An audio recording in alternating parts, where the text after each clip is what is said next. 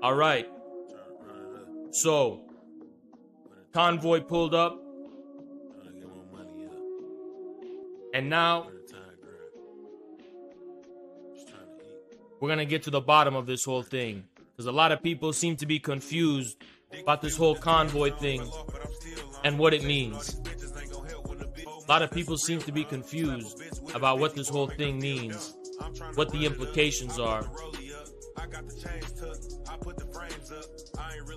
and what this has to do. Why is the convoy a working class phenomenon? And we're gonna begin from Twitter. All right? Gonna begin from Twitter. So I made a simple tweet. made a simple tweet. So it started here. The Canadian truckers represent a spontaneous working class uprising at its most raw, real, and authentic level. The fact that this is even a debate or up for negotiation prove that Western Marxism has nothing in common with Marxism Leninism. So we got some responses to this, and I'm gonna highlight these responses. You understand? Our convoy has broken some brains, and it looks like some people need to learn. Yeah, this dumbass in my chat, President Zelensky of Ukraine. So Zelensky is aligned with the deep state. He's aligned with the Democrats. He's aligned with Trudeau, the Canadian Liberals, and NATO. And of course, he's gonna say, "Oh, they're petite bourgeois. They're not working class because they own their own trucks, and that means they're not working class." And there's a whole lot we're gonna go through and talk about on this stream. And by the end of this stream, I'm gonna guarantee you, I'm gonna guarantee you and tell you something. By the end of the stream, in good faith, if you do not walk away agreeing with me, you're a fucking idiot by the end of this stream. Now, this dude, these people, Q, whatever his name was, this dude was bothering me when I was on my Android. I was at the gym on my Android. So I didn't have time to pull up all these sources and statistics and shit. We're actually gonna get to the bottom of it. We're gonna get to the bottom of it here and now. And we're gonna be talking, and I will make this a video. We're gonna be talking about that convoy. You understand? We're getting to the bottom of it now. You understand? We got some responses to this. Shut the fuck up, President Zelensky, you fucking idiot. How about you get in my VC? Because I'm going to break down every facet of every possible argument in this bitch. So actually, this is how Yara responded to me. First of all, I'm going to tell you a few things that you have to understand when it comes to this whole convoy. First thing, right off the bat, I don't want to hear about Nazi flags and Confederate flags. Those are not representative of the fucking Freedom Convoy. There was like one guy who went there and they took a photo op and then he was kicked out. That's what happened to the Confederate guy. I'm sure the same thing happened to the Nazi flag guy. You understand? So don't come at me and tell me about, oh, there was not there was a Nazi flag at the convoy. That was an op. That was an op. A, an op by the British intelligence or someone else, the CIA, who fucking delegitimize the convoy movement in the eyes of the people. The media intentionally misrepresented that movement. One or two guys came with those fucking flags and nothing else. All you have to do is send a guy with a fucking Nazi flag to delegitimize an entire movement and an entire protest. Yeah, you may buy that in your mainstream media bubble where you are, in your little like bubble where you actually think that's how shit works. Zelensky, shut the fuck up because I'm gonna fucking actually blow the fuck out of every argument you're making about, oh, the owner operator and employer trucker distinction. We're actually gonna talk about that, okay? So you're gonna have to wait. Every possible argument you've thought of, I've already destroyed. Five steps ahead of you. So shut the fuck up, okay? I'm specifically going one by one every single argument against communists seeing in the convoy the working class movement. You understand? Yes, many of the people in the Freedom Convoy are Sikh. Many of them are Sikh. Okay, I'm gonna read you something. I can't show it to you because it's a swastika, but I can read it to you. So, the photo of the swastika flag was taken in the terrace of the building. The photographer was standing on the lower part of the terrace. The people with the flags are standing on the steps. You want to know what that means? It means it was staged. It's not like someone showed up to a protest and just saw Nazi flags. It was staged to make it seem like the protesters are a bunch of Nazis. And if you believe that, you're a fucking idiot. I'm gonna break this down to you very simply. why would truck drivers be, why would this be about being a Nazi? They're truck drivers. What does that have to do with being a Nazi? Truck drivers are protesting vaccine mandates. Why the fuck would that be grounds for the Confederate flag or the Nazi flag? I'll tell you why. Because the media is basically saying, because a lot of these people are white, and this game is, this is the game they play. They do this race bullshit using minorities against the, the, the population. They're the racists. They're used, trying to divide people based on race. Because a lot of these con- convoy people happen to be white, they're trying to spook the population by saying, oh, they're white supremacists and they're racist, and that's why they're doing this. And it's a it's a tactic they're doing, and I'll tell you why they're doing this tactic. Because if the poor migrant minorities in Canada unite with those convoy people, that will be the end of the Canadian ruling class. So they're trying to divide them. And it goes both ways. I know it goes both ways. But if those convoy people, those truckers, unite with those indentured servants in Canada, with those immigrants, that spells the end of the, the Canadian ruling class. So they're trying to divide people based on race, trying to divide the working class. And that's what's actually fucking going on with this shit. It's a tried and tested tactic that they've always fucking used to divide the people. They've always used this fucking tactic. So they staged a photograph of someone with a swastika, and that's what everyone's saying is defining the movement. One fucking photograph, one fucking op they fucking did, and all of a sudden, they're all Nazis, they're all fascists. The professional managerial parasites, seething with venom, have hatred in their hearts for the working class and for the people. You want to know why? Because the working class and the people, they humble them. These fucking truckers are the ones delivering their fucking Amazon packages to their fucking high rise fucking apartments. And that's what's going on here. So we're not even going to discuss this bullshit about them being Nazis or being whatever because that swastika was staged. The Confederate shit, that guy was kicked out. he was not welcome. The working class runs this world. That's exactly right. Argument number two, and this is what these dumbasses in my chat are getting at, and everyone seems to be pointing out. Oh my god, Haz. Haz. Wait a second. Aren't you a communist, Haz? You are a communist, aren't you? Well, the Canadian truckers are vocally anti communist and they're against communism and, and they're ideologically not aligned with you. What do you think? You think they're just going to become communists? Is that what you think? Are you deluded? I'm going to do you a favor. I'm going to do you a favor because I think you should Google this. So I think you should go on Wikipedia and you don't even have to read the whole thing, but just read this part. Just read this part of Wikipedia, right? And then come back to me with that shit you're saying about how ideologically they're not aligned with you, Haz. Because I think you're fucking confused about what's going on here. I think you're really confused about the relationship between ideology and class, and we're gonna actually have to break it down, right? So Google materialism and Marxism on you just Google it and just read Wikipedia or something because you're so fucking ignorant of basic Marxism. You're gonna bring up to me the argument that ideologically ideology doesn't even fucking matter that much when we're talking about this. Why do, why should ideology matter that much? I mean, ideology does have a place, and I'll explain that place. I'll explain that place. But this is just stupid. Do you think politics is about ideas or about classes? And it's that simple. Is it a is it about ideas or is it about classes? I know that these convoy people are not ideologically aligned with me. So we have a dumb fuck in my chat who came a little too late. I'm not repeating myself because I just fucking addressed the their fascist argument. So we're past that point, and now we're talking about the anti-communism. Okay? Now we're talking about the anti-communism part. Because we already debunked the thing about them being Nazis or fascists. We already debunked that stupid bullshit. King Leak, get in my fucking VC and defend that point.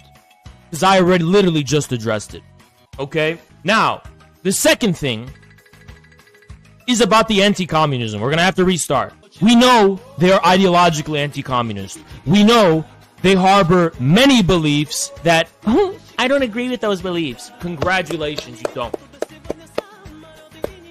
They're libertarians, the exact opposite of communism. You're a fucking idiot. The world is not defined by ideology. It's not defined by ideology. It's defined by material class struggles. Certain ideologies often give form to that class struggle that are unscientific, that are not necessarily correct. That doesn't mean you define the class phenomena in terms of the ideology. I don't know why that's not intuitively self evident to you if you're a Marxist. If you're a Marxist, you understand class struggle is the substrate around which ideology is an attempted reflection, okay? Now, ideology has a place, and I will explain that place. But first and foremost, like when you go and talk to a working class person, this is what I want to ask these people. I don't know who this person, Yara, whoever these people are. Hypothetically, you go and talk to a working class person. Are you actually gonna define the substance of what they're saying in terms of like discrete ideas, you're gonna say, oh, your axioms are different from my axioms. You're like Vaush then. You're literally Vaush. You're not a Marxist. You're not a materialist. You're Vaush. You think that the essence of things is the idea. The form, the form. You're a formalist. You believe it's the form of the idea. Now, what a materialist does when they talk to a working class person. So let's say this person is going and saying, these goddamn communist liberal elites. You know what a communist does? They just kind of, they, they just, they let it go over their head and they just say, okay, whatever. He's saying the communism thing. What he's really talking about though, right? Technically, actually, he's not correct in the academic sense. Let me put on my monocle and just did fucking scold him for not being academically correct. What a stupid fucking mentality. You have to understand that the there is a difference between the essence and the appearance of things. And that's what's fucking important. There is a difference between the essence and appearance of things. Okay? So when these people express and they're railing against communism, here are the relevant questions you have to ask. And I can't fucking believe I have to walk people through this Marxism 101. Like I can't fuck it's literally beyond my understand that I have to fucking explain this, right? Here's what you do. Ask yourself the question What do they mean by communism? What does communism mean for them? What are they referring to in material reality by communism? What is actually the essence behind the form and behind the appearance? Now, an idealist will come and say, an idealist will come and say, the essence of what they mean is the idea itself. It's the idea itself. So, when an idealist looks at this anti-communist sentiment among the truckers and they go, huh, the essential reason that they are expressing anti-communist sentiment is because they are essentially anti-communists. Because they are committed to the idea of anti-communism. But a materialist says that the reason they harbor the idea of anti-communism isn't because of ideas, but because of what that refers to in material reality for them. Now, why have they come to associate communism with the liberal elite and the agenda of the ruling class and the corporations and the status quo and the mainstream media? That's a separate question, and I would be free to explain to you the reason for that. But before you even try to wrap your mind around the reason for why they're anti anti-communists, you have to first understand what they mean by anti-communism. You don't first find the reason and then go, oh, is it a valid reason or is it an invalid reason? That's not what's important. What's important is what they mean. What do they mean by anti-communism? You can take them at, at face value, which is pretty generous because you're operating under the assumption that these people are properly educated about what communism is and that they actually know what communism is. So I'll give you this example. When these truckers Holy fuck, Mombello. Thank you so much, brother. Appreciate you so much. Thank you so much. When these people express anti communist sentiment, here is the question you have to ask as a materialist. Okay? Here's what you have to ask as a materialist Are they in material reality actually really referring to communism as a historical phenomenon? So, like, for example, when they're expressing anti communist views, is the object of their speech really the material reality of communism around the world? Well, we can actually kind of try and measure that somehow or try to actually investigate that. We can look at, for example, the character of the supporters of communism in Eastern Europe and in Russia. And we can actually look at communists in China. And when we do that, once you look past the superficial ideology It's very strange how communists appear very similar to these anti communists. In Russia, for them, communism means pretty much the same thing that anti communism means for these truckers, which is a very curious thing. I mean, in Russia, it's the communists who are. I've shut. Listen, King Leak, you're either a pussy who's gonna get in my VC, or you get the fuck out of my chat. Because guess what? I destroyed Q. I'm gonna prove how I fucking destroyed him. If you think he won, it's because you're a fucking idiot not because he actually won, dumbass. Get in my fucking VC if you want to be unbanned. I don't have time for pussies. And if Q wants to fucking dunk on me, he has to fucking actually debate me like a man, not hide behind his fucking keyboard. But something tells me if that dude gets in my VC, he's gonna grovel at my feet because he's gonna fucking be intimidated by our chat, okay? I'm drawing a line on this question, hold the water back, actually. So you don't like me if you don't if you you you think I'm far off on this. Okay? And why don't you explain yourself too? I don't give a fuck if you think I'm far off on this. Explain why. On this specific point about ideology. So again, are is the real material object of their speech really communism?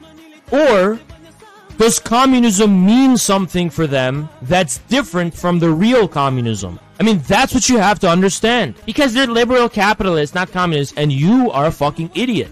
You, there's literally so many points I have to break down, and you're literally on point five right now. Shut the fuck up, because I'm on point two right now. We're gonna talk about the owner-operator thing in a second, but you have to shut your fucking mouth and wait. You're assuming I haven't thought about this, and I don't have a response to it. I do have a response to it, dumb fuck. Then why do they vote for the People's Party? Why are they ideologically this and that way? Why don't you listen? Why don't you listen to what I'm saying, dumbass? It's so fucking stupid. Ask what the essence is. What is the essential reason? The materially essential reason. Don't fucking look at the surface and just say that's it. Go deeper. Ask why. If you're a materialist, you ask why. Fucking bums in my chat can't even fucking do the minimum of criticism. You don't even have critical thinking. You think appearance and the essence is the same thing. It's not, okay? So let's first ask the question what do they mean by communism? Clearly, what they mean by communism is very different from the actual reality of communism. And why is that? Well, first and foremost, the most obvious explanation or justification for what I'm saying is the fact that communist states don't have vaccine mandates. China was against forcing people to take the vaccines. They insisted it was voluntary. The Communist Party of the Russian Federation has come out against vaccine mandates. So communist states are not forcing people to take the vaccine. I mean, that is the most simple reason for why they're not actually referring to communism when they're expressing anti-communist sentiment. They're referring to a straw man of communism. The reasons for why they're doing that is a separate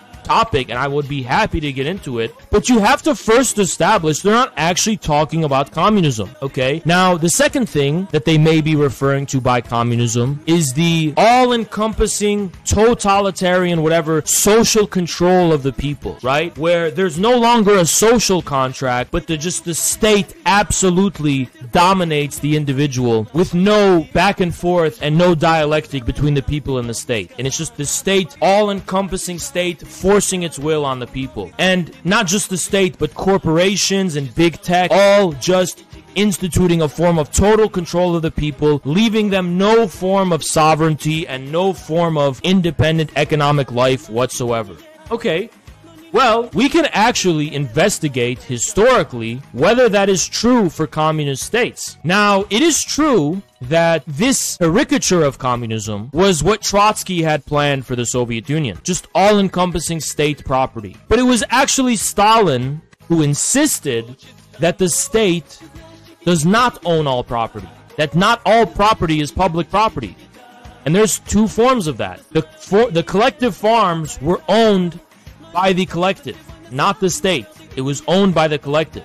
So the state did not have all encompassing total control. The other thing was the small garden plots that pretty much everyone was allowed to have. And there was other forms of independent control and, and ownership. Almost everyone in the Soviet Union had a dacha in the countryside that was theirs, and they had gardens there, and they could sell the produce in a way, right? And the same is true for China. So this association of the historical experience of communism with just all encompassing state ownership of everything doesn't reflect the reality. In, to- in today's China, communism is economically associated with the people having some form of compound security, independent security, whether that takes the form of a small plot of land or the ownership of single unit apartments that they own, right? And also China, you obviously can own a business on top of that, and you can own you can have your own businesses and, and whatever. So this is a when you actually study the historical experience of communism, you will find that the hold on that the historical experience of communism you will discover that the historical experience of communism radically contrasts with the idea of communism that these people have in their head. So if that's true and that these people are genuinely confused and have misunderstood what communism actually was in history and what it represented in its respective countries, the question you then have to ask is whether, if actually shown or adequately persuaded about what communism was, they would be sympathetic to communism. If they knew, for example, what Mao represented for the Chinese people, the peasants, the Chinese peasants against the liberal elites and the urban elites, and the same for Stalin with the Russian peasant against the urban elites of the Soviet Union. I mean, they would probably be more sympathetic to Stalin and Mao if they actually had a good idea of what happened there. The problem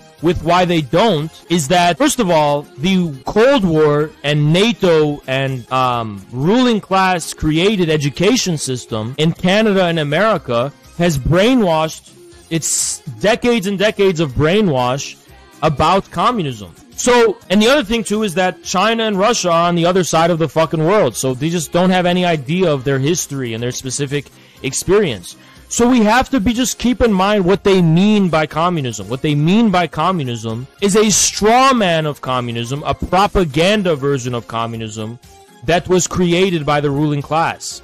And it's almost as if once you are you guys following me? Does, is this too like theoretically heavy? Because I feel like this is so fucking simple, right? I feel like it's always it's just so fucking simple, right? Okay.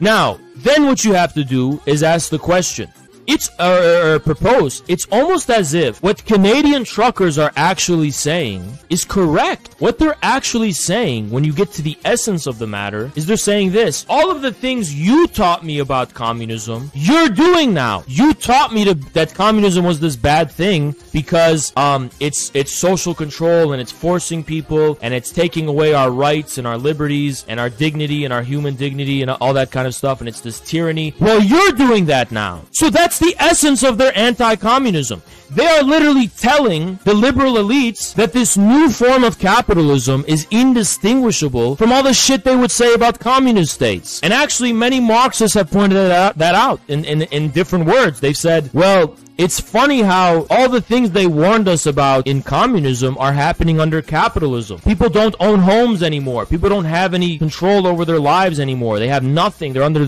the total subordination and control of corporations. And, and we were being brainwashed. And like 1984 wasn't what happened in the Soviet Union. It's what's happening now, right? So at its essence, beyond the surface, their anti-communism is correct. When you actually look at what they're trying to refer to, they're right. They're just not using the right word. Instead of calling it communism, but but okay, then then this the the third thing you have to ask is okay. I'm an educated communist, and I can clearly see that they're using the wrong word. They should not be calling it communism or denouncing communism. So how do we approach that? First and foremost, we have to patiently make it clear, one, before anything, what practical utility a real communism would have for them. I mean, you don't don't just go and say you're wrong. Actually, you're wrong because that doesn't matter. Actually, give them a reason to be sympathetic to communism. Give them a reason to change their views on communism by giving a new meaning to communism. So tell them and show them that communism in Canada means the convoy. Communism in Canada means the working class banding together and fighting the ruling class. Communism means abandoning the illusions that some of the self-proclaimed leaders of the convoy who are duping people are throwing on them. Communism means always support the working class. Yes, Pepe. Communism means, yes, we're against the vaccine mandates. The Russian communists are against it, so why shouldn't we give sh- tell them that? The Russian communists are against the vaccine mandates, so are we. Communism is better than the eclectic ideologies they're adopting now. Because communism will allow us to scientifically understand the forces behind all of these changes and what it means for us and what the key and the weapon. See, this is the tragic truth. The Freedom Convoy is doomed. I'm not going to lie to you and tell you it's not. It's doomed. Just like every other peasant uprising in history was doomed. It is doomed right? But where communists come in and step in is that they say, listen, we have the keys to overthrow this working class, this ruling class that you hate, this great reset agenda, this tyranny of the liberal elites. We have the keys to overthrow them, and we should prove that to them. We should prove that to them. It's our duty to prove it to them. That's the first thing you do. And then on top of that, you also patiently educate them. Education's important. Patiently talk to them. Educate them on how they've gotten it wrong and how we've been lied to about communism in Russia and China. And we've been lied to about communist history. And that in fact,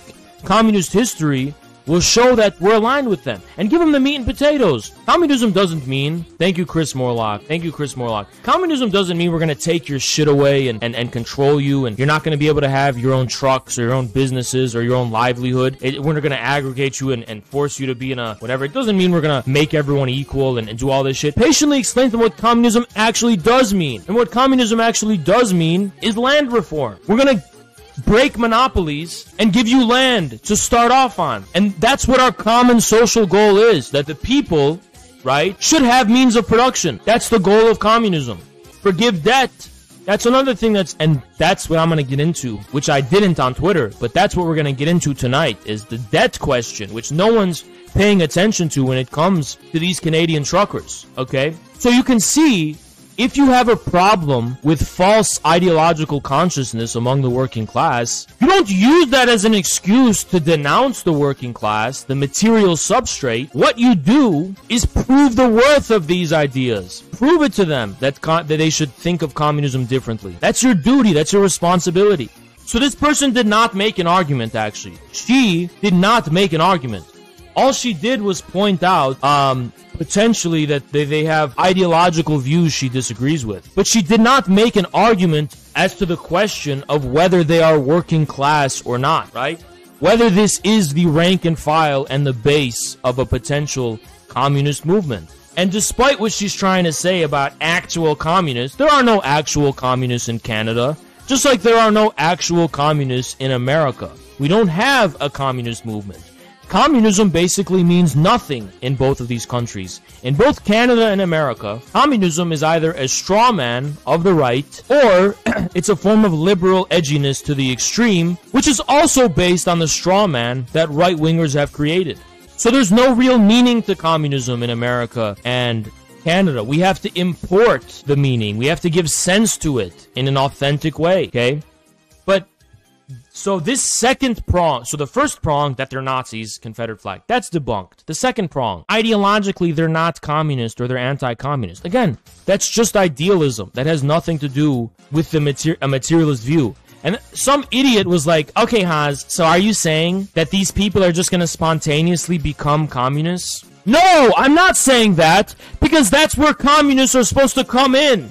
That's where you're supposed to actually try and lead the movement and prove your worth in, in giving them the, these ideas. But it's like, it's so simple. That's literally what class consciousness is supposed to be about. It, it, it, all of this is in literature from 150 years ago. Marx and Engels talked about it. The Social Democrats talked about it. Lenin talked about it. Stalin, the Mao, they, they, it's very simple. Communists are the ones who are supposed to give form to the content. The content is not going to spontaneously become communist. Scientific socialism is not ever going to arise spontaneously. You need an organ, a spirit, a head that independently formulates this. It's not just gonna come from the ground. What's gonna come spontaneously is chaos. And yes, other forms of socialism take a very eclectic and yes, oftentimes problematic form. I mean, Karl Kautsky called anti-Semitism the socialism of fools. Why? Because spontaneously, anti-Semitism would become popular among the working class. Um, of course, uh, other forms of reactionary socialism become popular. Conspiracy theories are very big, uh, although some of them are actually correct, right? But yes, some believe in reptilian alien shapeshifters. Some believe in um, that communists control us, which actually has some grounding in reality, to be honest. Um, some of them believe in the Illuminati. Again, these are all things that actually do have a grain of truth, to be honest. But they have all sorts of beliefs. Some of them are free market Austrians, right? I mean, some of them, I don't know, they like Jordan Peterson or they, they watch Steven Crowder. I, I don't know. I mean, there's a there's just chaos. It's what it is is chaos. And communists are not supposed to denounce chaos, but represent the logos that arises out of the chaos. As Dugin would put it, communists represent the logos that emerges from the chaos. That is what scientific socialism is. It's not just gonna be born uh, spontaneously. It's going to be delivered by the wet nurse, the chora, the substrate, right? The ground, the imp- impenetrable depth of chaos, the chora, in Platonic language. The wet nurse will deliver the chora. Uh, sorry, deliver the logos with our assistance. Communism is very simple, yes. It's all very simple, what I'm saying. Do you follow me? Because I don't know why this should ever be controversial. I don't know why there's a dispute about it, or a debate, or a controversy. I don't know why anyone would ever, like, contest. What about this is hard to comprehend? I mean, how can you not wrap your head around this? Before we move to the debate about the class nature of the truck drivers, is there anyone who can contest what I just said? You cannot judge a phenomena based on ideology on the surface. You have to go to the essence of things. Is there anyone who would ever argue against that? Before we move on. Because I feel like this is like a set and I feel like this is like set. There's no way, there's nothing you can say. What could you say? What could you say? Oh no, ideology is what matters. Okay, then you're an idealist. You're not a Marxist. The only thing you could possibly say is what Q tried to say, which was that it was not a working class movement. And that's what he was trying to argument. That's what, that's what he was trying to argue. And he's wrong. But what he said requires more theoretical explanation to respond to.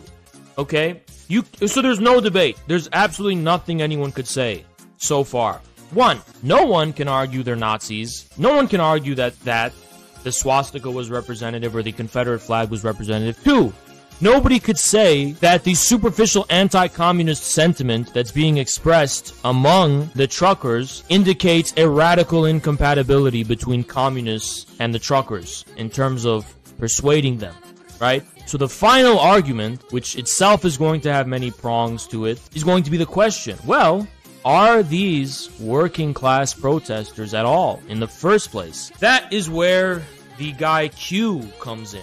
So first, you, you just see my response, basically what I just said.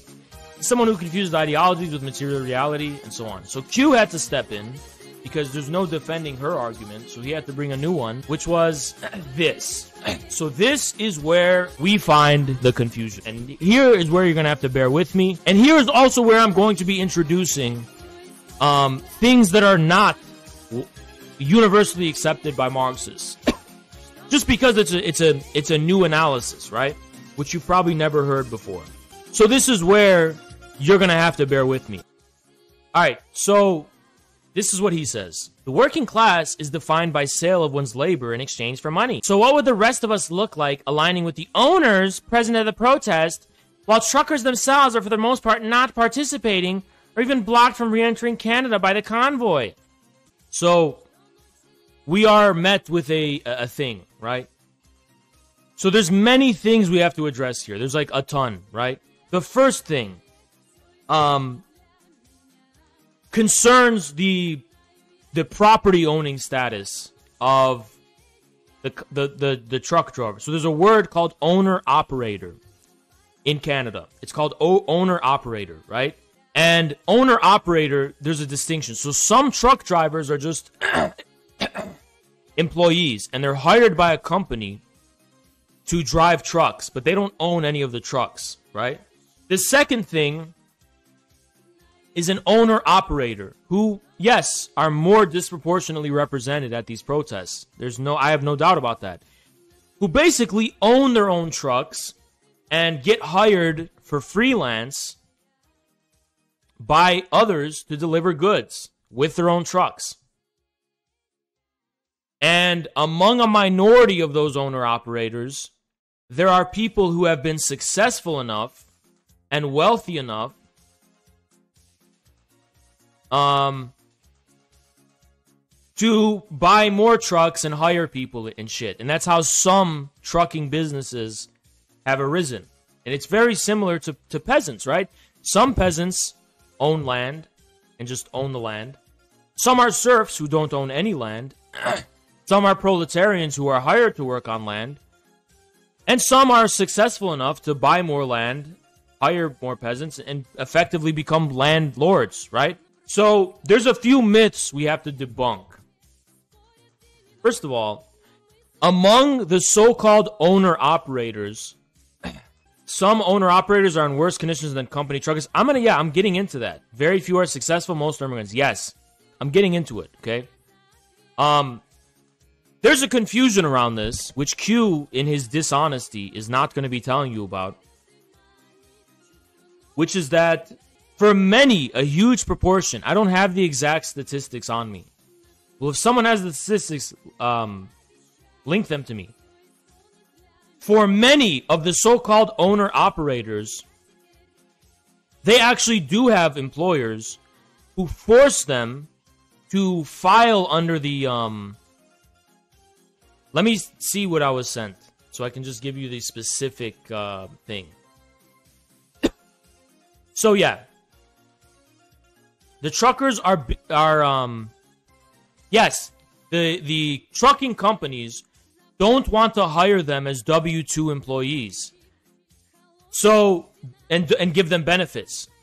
So they set up LLCs and like 99% of the truckers that own the business only own it because the company tells them to or forces them to. So they file their LLCs as independent uh, business owners so that the companies that they work for don't have to give them benefits and don't have to give them adequate compensation.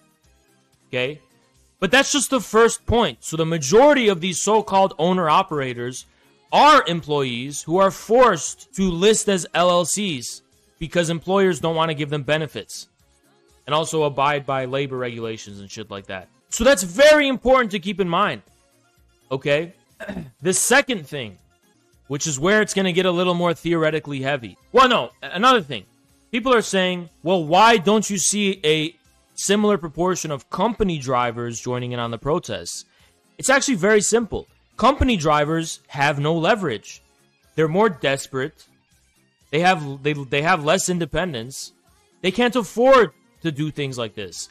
Every rebellion in history was started not by the people who have the most to lose, but by people who do have something to lose and therefore have the leverage to be able to revolt. That's just true for every rebellion in the history of humanity. Um, and that's how they start. And those people open the gates for the lesser privileged to join in. So, yeah, of course, um, operator owners are going to have more leverage, uh, and they're going to be at the front lines of this because they can't be fired. Yeah, company drivers can get fired. Some of them might not even be citizens, right? So there's that. Now there's people telling me, oh, Haz, then why are all these people white? Why are they only exclusively white? Okay, that's your claim. That's what the media has told you. That's what you're hearing. And the question stands as to whether that reflects the facts. So looking at the facts, um, we find people like this. Send this message. So let's raise the volume. To Justin Trudeau, please. Yeah. Tell him that we're united. It's just not a white supremacist group. We're not a small fringe minority. Thank you. We're not. Thank you.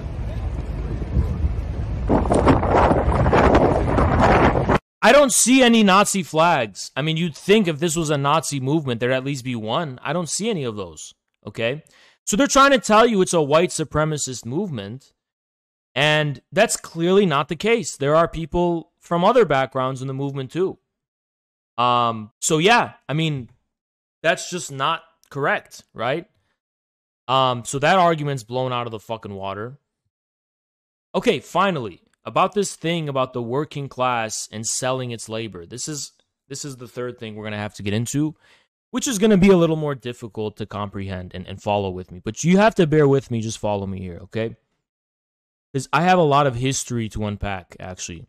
So this is an example of someone who doesn't comprehend dialectics. He basically thinks that concepts like the working class are static and based on definitions um, that exist forever. And not once do you see in any of this Q guy's tweets any attempt to again get to the essence of things. Why has the working class been defined this way? What is the deeper reason for the working class being associated with the sale of one's labor? Is the essence of the working class the definition of the sale of one's labor? Or is there a deeper reason for the historical association between the two? Um, and that's what I'm gonna set about to explain now. Okay.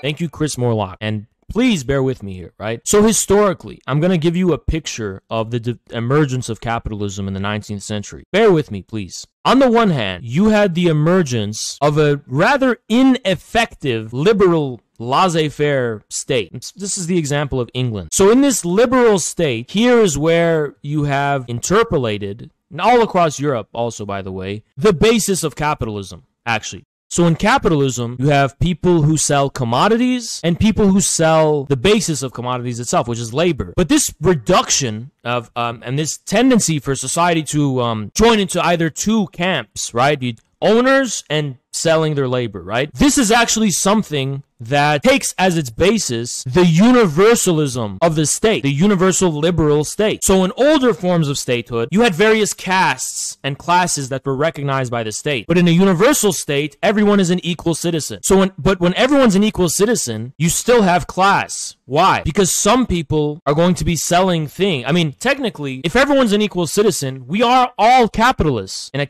in a liberal state, technically, we're all capitalists, right? We're all people who have the right to have property and we can sell things and, and trade things and buy things. And we're not anchored down by the old feudal obligations and, and um, structures, right? We're just dwelling in cities and we can just do whatever we want. We can sell what we want. We're free, sovereign men, right? Except, and this is where materialism comes in and becomes relevant, things the things that we're selling and buying, for example, those have a basis, and that basis is human labor. So a great many people are going to find themselves in the awkward situation of selling their labor. I mean, how will things be made in a society without someone making them? You could have a situation where there's a city and everyone's kind of a capitalist, and you just have slaves make everything and and we just trade the commodities that slaves make maybe that's like ancient Athens or I don't know, something like that, right? Or, or Rome at some point. Probably not, right? Because Rome had a working class of its own. But you get the point. Like, how does private property even manifest? And how do we get the things that are being traded and exchanged? So, in a bourgeois liberal state, you end up with an awkward scenario where if we're not going to be slaves and we are all going to be equal citizens, right? And this equality is most acute in the cities, the formal equality, I mean, where you're not going to be weighed down by the differentiations in landed propriety, pro- property. Um, there's going to be labor itself will become a commodity. If I'm not a slave or a serf or even a peasant, and I'm a free citizen who's equal with all other citizens, I'm going to end up selling my labor as a commodity. But the paradox is that labor is the source of all commodities itself. So I'm selling the source of commodities in the first place, right? So it's a Mobius strip. It's, it's out of this paradox that arises class difference. The bourgeoisie own things, the proletariat only owns their labor. Now, how did that come to pass? Why can't the proletariat own some things? No, and I'll tell you why. Because the process of creating this universal state in which we are all equal corresponded to flattening and uprooting the traditional forms of ways of life in the countryside. So peasants were uprooted from their land because they had previously been tied to their land. See, peasants were not universal equal citizens so to speak, because they were embedded in these traditional rural relations that, you know, did not entail a complete full equality at all. They were in they were like in the soil working and attached to land and so on and so on. So when this order was disrupted and they were uprooted, whether that's through indebtedness and that's something I'm actually going to get into here. They found themselves at the with the short end of the stick. They they had nothing. They had absolutely fucking nothing. So they migrated to the cities to sell their labor, which is the only thing they had. They were their land was taken away and all they had was their labor to sell, right? Um and this is the basis of liberal bourgeois equality. So it's a scam, right? Oh, we're all equal, but before we can be equal, we're going to take away your human substance and you're going to have nothing to sell but your labor. And that's the, the liberal bourgeois quality of capitalism right? It's a scam. Some people already, you know, can sell shit and, and, and, and own property and they're going to be buying our labor, right? Now, does it end there? No. In 19th century Europe, this capitalism, this specific sociological arrangement, was actually confined always to a minority of the population. When you moved over to the countryside, it turns out not everyone was already proletarianized, and not all of the landlords had become capitalists. So, and and these rural um, relations were actually impediments to the development of the forces of production. So the productive forces were developing in the cities and industry was rising and in the countryside um, you had stagnation and decay and, and, and, and an anchoring that was just this impediment to the development of capital and the forces of production right? So that is why there is such an acute difference between the working class and the peasants because the peasants i mean what is a peasant right? A peasant when people say Haz how can you call the truckers peasants? Well technically i can't because yes it is true that peasants are people who work in agriculture. They're agricultural peasants. That's what a peasant means. And the reason peasants are agricultural is because they are embedded in these old traditional relations that have not been subsumed by capital, by the capitalist mode of production yet, right? So in Europe, you did have this acute difference between feudalism and the ancien regime and capitalism, which was this rapid development of the forces of production and modern, whatever we call modernization. Okay, now bear that in mind. Okay. It's like I have to explain history to these people because what this person says, it it doesn't make sense for understanding class today. I mean, what everyone who owns something is not the working class so uh, an electrician who owns his toolbox is not the working class. Uber drivers are not the working class. I mean these are just things we know intuitively are wrong. So we just have to make sense with we have to make sense of like what the problem is right? Because there clearly is a problem. It, it can't be that this guy's right and that you know, the working class only have their labor to sell. It's just not true. I mean, the working people own homes, people own cars, they own plenty of means of production today. So why is that? How did that come to be? And that's what I'm going to be here to set about to to explain to you. Okay? Now it turns out it just so happens to be what is the basis of this universalization of the state because it kind of sounded like I said that the state created the bourgeoisie and the and the and the proletariat. No, it's actually not true. The bourgeoisie that created the universal liberal state in the first place arose from the peasants. Now, historically, there's all sorts of um, examples, right? So there's serfs who escaped and moved to cities and, and became capitalists. But the main way in which it happened, like if we're looking at the English Civil War and all that kind of stuff, is that there were peasants in the countryside, small holding peasants, who had, who were successful and they had surpluses of agricultural production. And these surpluses of agricultural production they would use to invest like as a form of capital. And before you knew it they no longer had to work on land. They could hire people and and it's from this basis that you see the emergence of the capitalist class right? What does lenin say about the origins of capitalism? Lenin to paraphrase him he would say capitalism is being reproduced every minute every hour every minute every second at the lowest levels of the peasantry. Are you guys aware of that quote from Lenin? This was after the establishment of the Soviet Union. He said, The capitalist mode of production is being reproduced every day, every hour, every minute, every second at the lowest level of the peasantry. Why did Lenin say that? Because the basis of capitalism and modernity is always being reproduced. There's something I want to introduce you guys to, and they're called K waves. They're called Kontra Deus.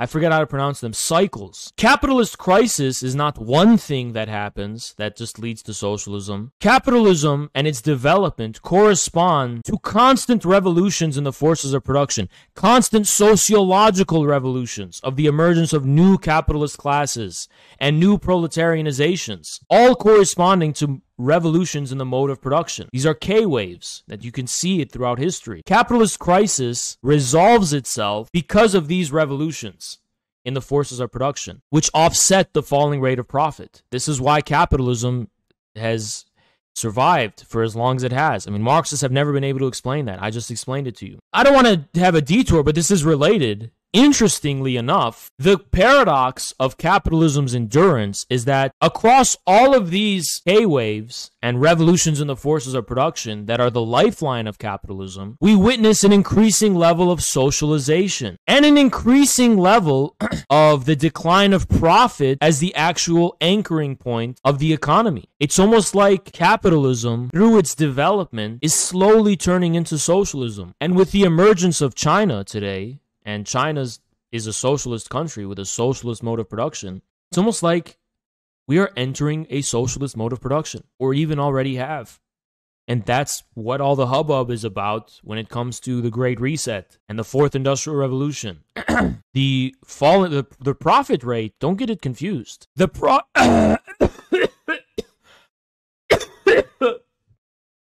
Fuck! The profit rate across history in the long term has actually declined. But the machine of capitalism is propelled because of the state, because of debt, and because of increasingly non capitalist forms of production. Companies operating at a loss that are in debt, etc., etc., etc. That's something to keep in mind because this is a very important piece of the puzzle we're going to be talking about. If capitalism is constantly being reproduced from its opposite, which is supposedly feudalism and its relics like the peasantry, as Lenin said, that means capitalism never conquered feudalism. Marx, in Capital Volume 3, was confronted with the, the enigma, the paradox of landed property and how its endurance is proving to be um, a kind of obstacle for the development of the forces of production and, and, for capital, right? The form of capitalist property. Capital and landed property are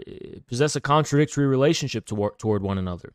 Okay? So you have this distinction, right? Now, let's fast forward a little bit. During the capitalist crisis of 1929, um, you saw a breakdown of capitalism as a whole, right? I mean, other things were going on, namely, um, as a predecessor. Actually, I should talk about that. I shouldn't fast forward too fast. Something interesting was going on in the countryside. The way in which the countryside was becoming subordinated to the capitalist mode of production was principally through the mechanism of debt. So peasant proprietors were becoming separated from their means of production through debt, through indebtedness.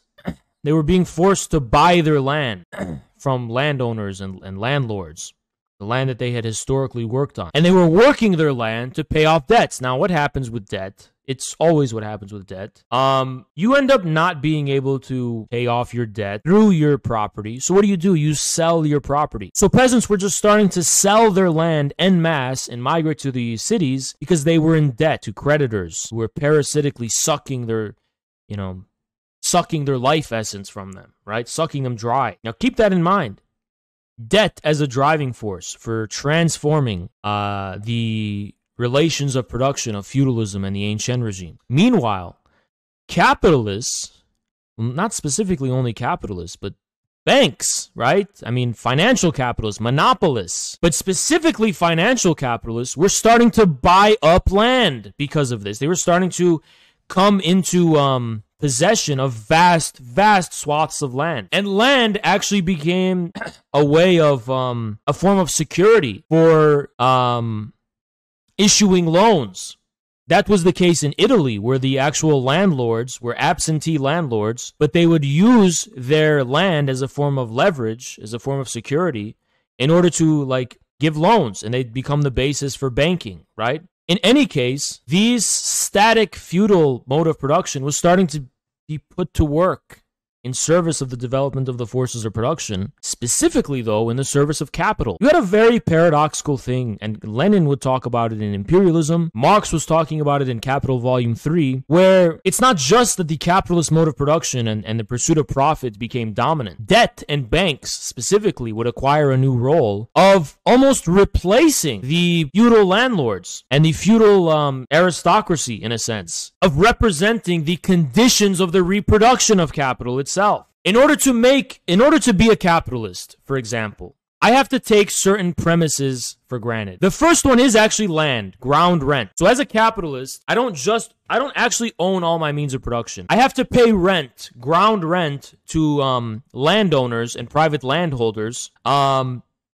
in order to uh, in order to uh, in order for my means of production to to work to have means of production, right? My factory is on top of land I do not own. That's a capitalist. Okay? So phenomena like Georgism in Marx's time would emerge which actually wanted to have the state own all land, specifically to eliminate the parasitical role of the feu- the feudal landlord and the capitalist, and that the issue of ground rent was the entire Marx called it the, the final panacea of the bourgeoisie with which to resolve all social contradictions. They were blaming the landlord, right? Which had a grain of truth to it, right? Um, in any case, through imperialism and increased financialization, um, land starts to turn into real estate right? And specifically becomes a financial asset. It no longer becomes like a static form of property just owned by a feudal lord. It becomes a liquid financial asset that is now integrated into the capitalist mode of production. But,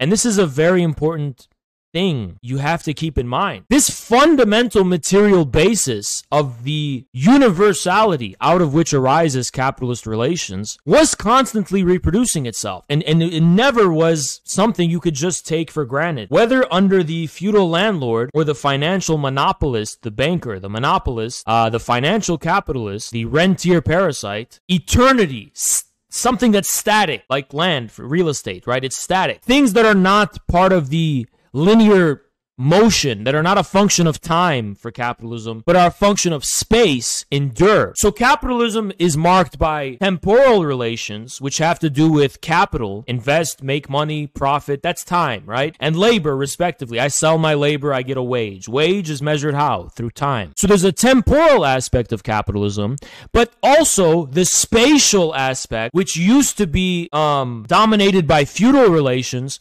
just reproduces itself in a new way. So many Marxists Marxists have this misunderstanding that in capitalism, time just replaces space. No, the eternal spatial relations just take on a new form. So it is in this way that the ancient regime and feudalism reproduces itself in a new way. A new type of peasantry arises, a new type of landowner uh, arises. A new type of landlord, new type of aristocracy, new type of the static, fixed relations of production that we associate with feudalism reemerges in a new way. And this is perfectly dialectical. The future never becomes fully reconciled by the past, as much as the future accelerates. I mean, this is what this is my argument against the Landian accelerationists. This is what I told them, or not told them, but this is how I responded to them. I said, "You are accelerationists. You don't understand that for as much as there is an acceleration, there is a deepening of the past. There's a deepening of eternity, and that's where Dugin comes in. Dugin is the past, eternal past. Nick Land and the accelerationists are the eternal future. Infrared, my understanding of Marxism in the 21st century is reconciling both of them as part of the same thing, right? For as, and this is what Dugin, he calls it archaeo modernity. The more we accelerate into the future, the more the wealth and depth of the past reveals itself. There's things about the past we didn't know. The past has things in it we haven't conquered, right? So the more capitalist modernity triumphs, the more the depth of feudalism and everything we associate with pre-modernity reveals itself in a new and deeper way. And I don't really have a lot of time to talk about this, but this is what corresponds to um, the uneven, combined and uneven development of capitalism, not even in Europe, but elsewhere. Like, for example, foreign modes of production. The, the Russians, right? The Russian Empire was backward, right? The more capitalism triumphed in Europe, the more it was confronted with backward Russia. The more modernity triumphed in Russia and Europe, it was confronted with backward China. Now it's the backward Islamic world.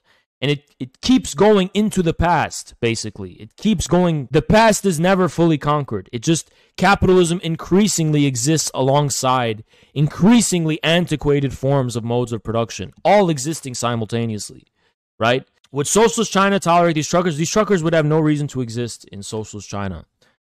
Continuing uh, off of what I was saying, something specifically happened after the crash of 1929.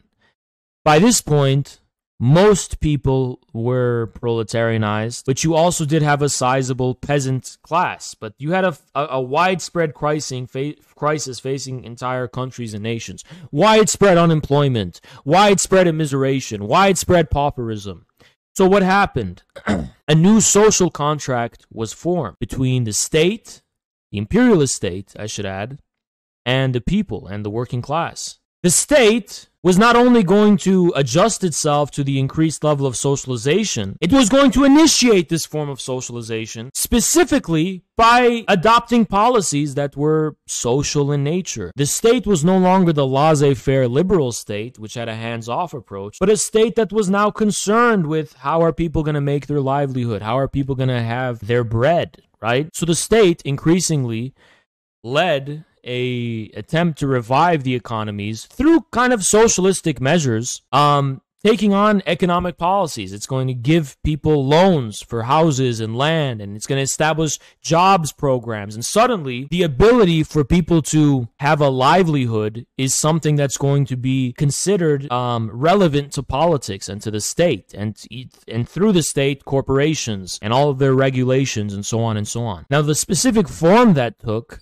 was specifically um, giving and now this security of the state of giving ensuring people have the minimal of livelihood which is actually now a political concern actually does take the form of discrete forms of property. These precise policies were what allowed people to own homes and own cars and own a lot of other things. But the form of ownership is not capitalist in the traditional liberal sense because these are forms of ownership given and guaranteed not only by the state, but the state and the corporations and the facilitation of capital through industrial modernity itself. Now, whereas the liberal form of ownership is just this static, I own it and I can do whatever I want with it. These forms of ownership were facilitated. Cars are the best example because they're mobile. We don't just own cars like we own land. We own cars because they facilitate production. So these are facilitative, compound forms of labor given to the working class, which represent its form of security of an increasingly socialized state. The distinction is very crucial. It's a compound compound form of property, not a static form of property, which means it's a it compounds the labor of the working class into a functional form of property. This is not a form of property that's just being sold by a money grubbing capitalist in an impartial distance way. What it is, please bear with me guys, is a mecha suit. The car, the home, the toolbox that the electrician owns,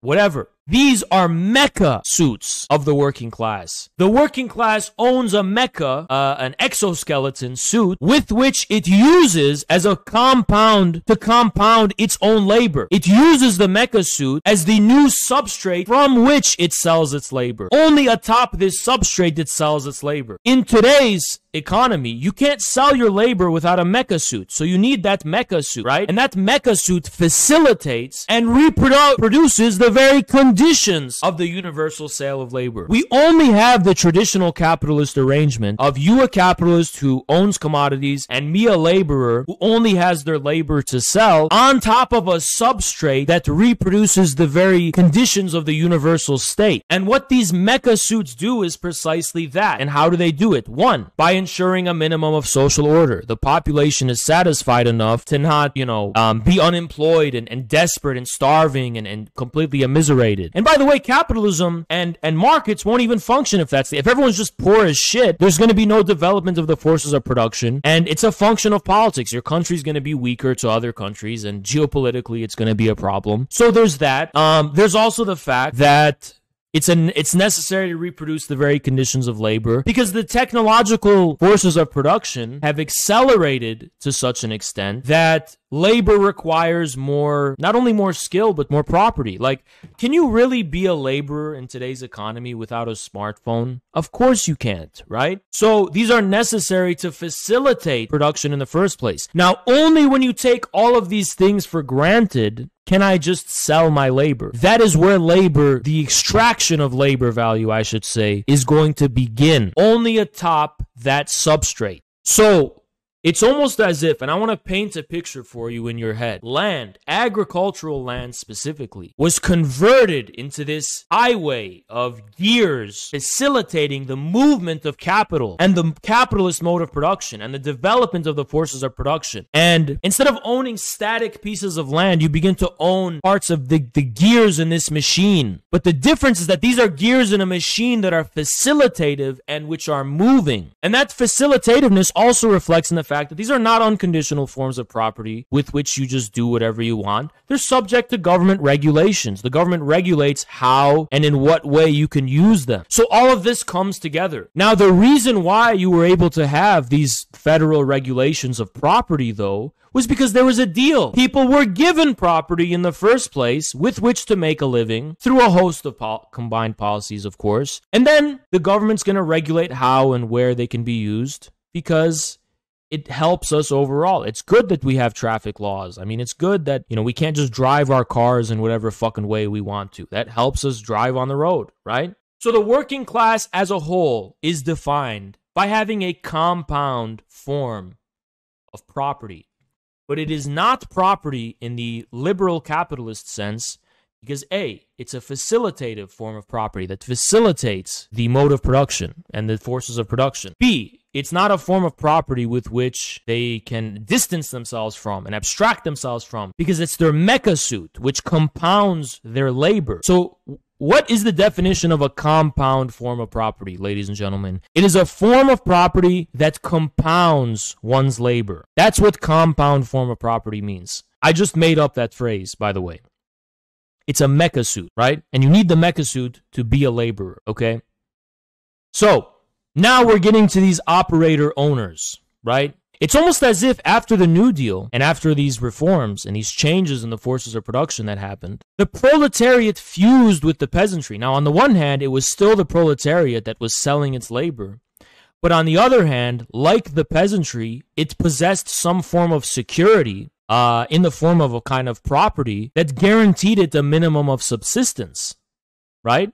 And not only that, but it represented the material reproduction of the polity. Now, when I discovered this, actually, I was confronted with the paradox of the working class. So I studied this and I kept going into the past. And I realized this is actually true even for liberal capitalism. There was never a pro- pure proletariat in history before the compound form of labor was the plot of land. So the only thing that changed was a revolution in the forces of production that de-essentialized agriculture. And then I discovered that it wasn't just during the 1930s that the state embarked on this kind of proverbial land reform where it gave the population some kind of security. I came to learn that every single revolution in the history of humanity seemed to have been about land or some equivalent to it. And that every state, to secure a basis in the population and to secure the loyalty of the population, principally did this in the form of allotting and redistributing land. And that actually this was the basis for feudalism. Because in feudalism, how did lords and nobles and knights emerge?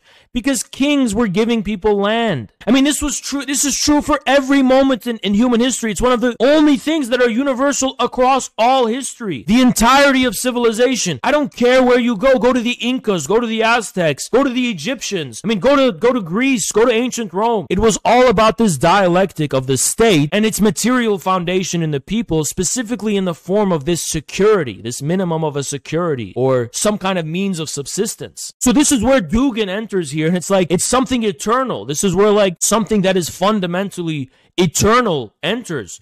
And the class struggle described by Marx between the proletariat and, and, and, the bourgeoisie is just a footnote in this more ancient and eternal phenomena of um, the significance of land for the polity, right? Capitalist modernity only differs from ancient times Because here we are dealing with a mode of production of the constant revolutionizing of the forces of production. The difference between capitalism and these ancient societies that capitalism is a mode of production constantly in motion, right? It's constantly about developing forces of production, new technologies, building new things, um, increase. These are all the things Marx described. All that is solid melts into air. But this more fundamental um, structure of human societies and polities survived that. So the peasants got replaced. So in the same way, listen, let me tell you, the difference between capitalism and feudalism is the same thing as the difference between a plot of land and a truck. A plot of land is static and does not entail any facilitative development of the forces of production. A truck, meanwhile, it's like perfect poetry. A truck has fucking wheels. It has fucking wheels. Not only does it have wheels, it entails a certain level of socialization because it can only drive on highways, highways that are created in common, oftentimes by the state and by the government, right? So it's like this beautiful poetic analogy. But the mistake Marxists made was that they assumed that this more fundamental material antecedents out of which capitalism emerges is eliminated with feudalism. And that's not true. Even after you get rid of feudalism, our more fundamental human antecedents and human eternity, right, somehow survives that. And actually, it was Lenin who had first discovered this. Lenin had first discovered this in the form of recognizing the significance of the democratic petty bourgeoisie or the peasants. Lenin told the, the Mensheviks were, were linear temporalists. So they, they had this stupid view that, oh, feudalism is disappearing, so we should align with the progressive liberal bourgeoisie in the cities who are newer, and that's the ally of the proletariat. Lenin said no. Lenin had a more dialectical view of history. For Lenin, history doesn't move as a linear thing, it's a zigzag. It, it goes here and it goes back, and it goes forward and it goes back in zigzags, right? So the way Lenin was thinking was that he said, no, this bourgeoisie in the cities looks like it's brand new, but for that precise reason, the owl of Minerva has taken flight. It's too late. Look to the basis, the essential basis of that class. Look to where they had emerged from afresh, the living basis of this class. And that is in the countryside. It is the countryside that gave birth to this city bourgeoisie. When he told the Mensheviks, he said, that city bourgeoisie you're looking at, they already got rich, right? They're, they're done. They already are dependent on the czar and they, they're dependent on the, the, the landowners and they made it already. If you want to go to the essence of what makes this class progressive and revolutionary, go to their actual material essential basis, which was from the countryside. Look at the aspiring bourgeoisie in the countryside. Look to the chora out of which was born the appearance.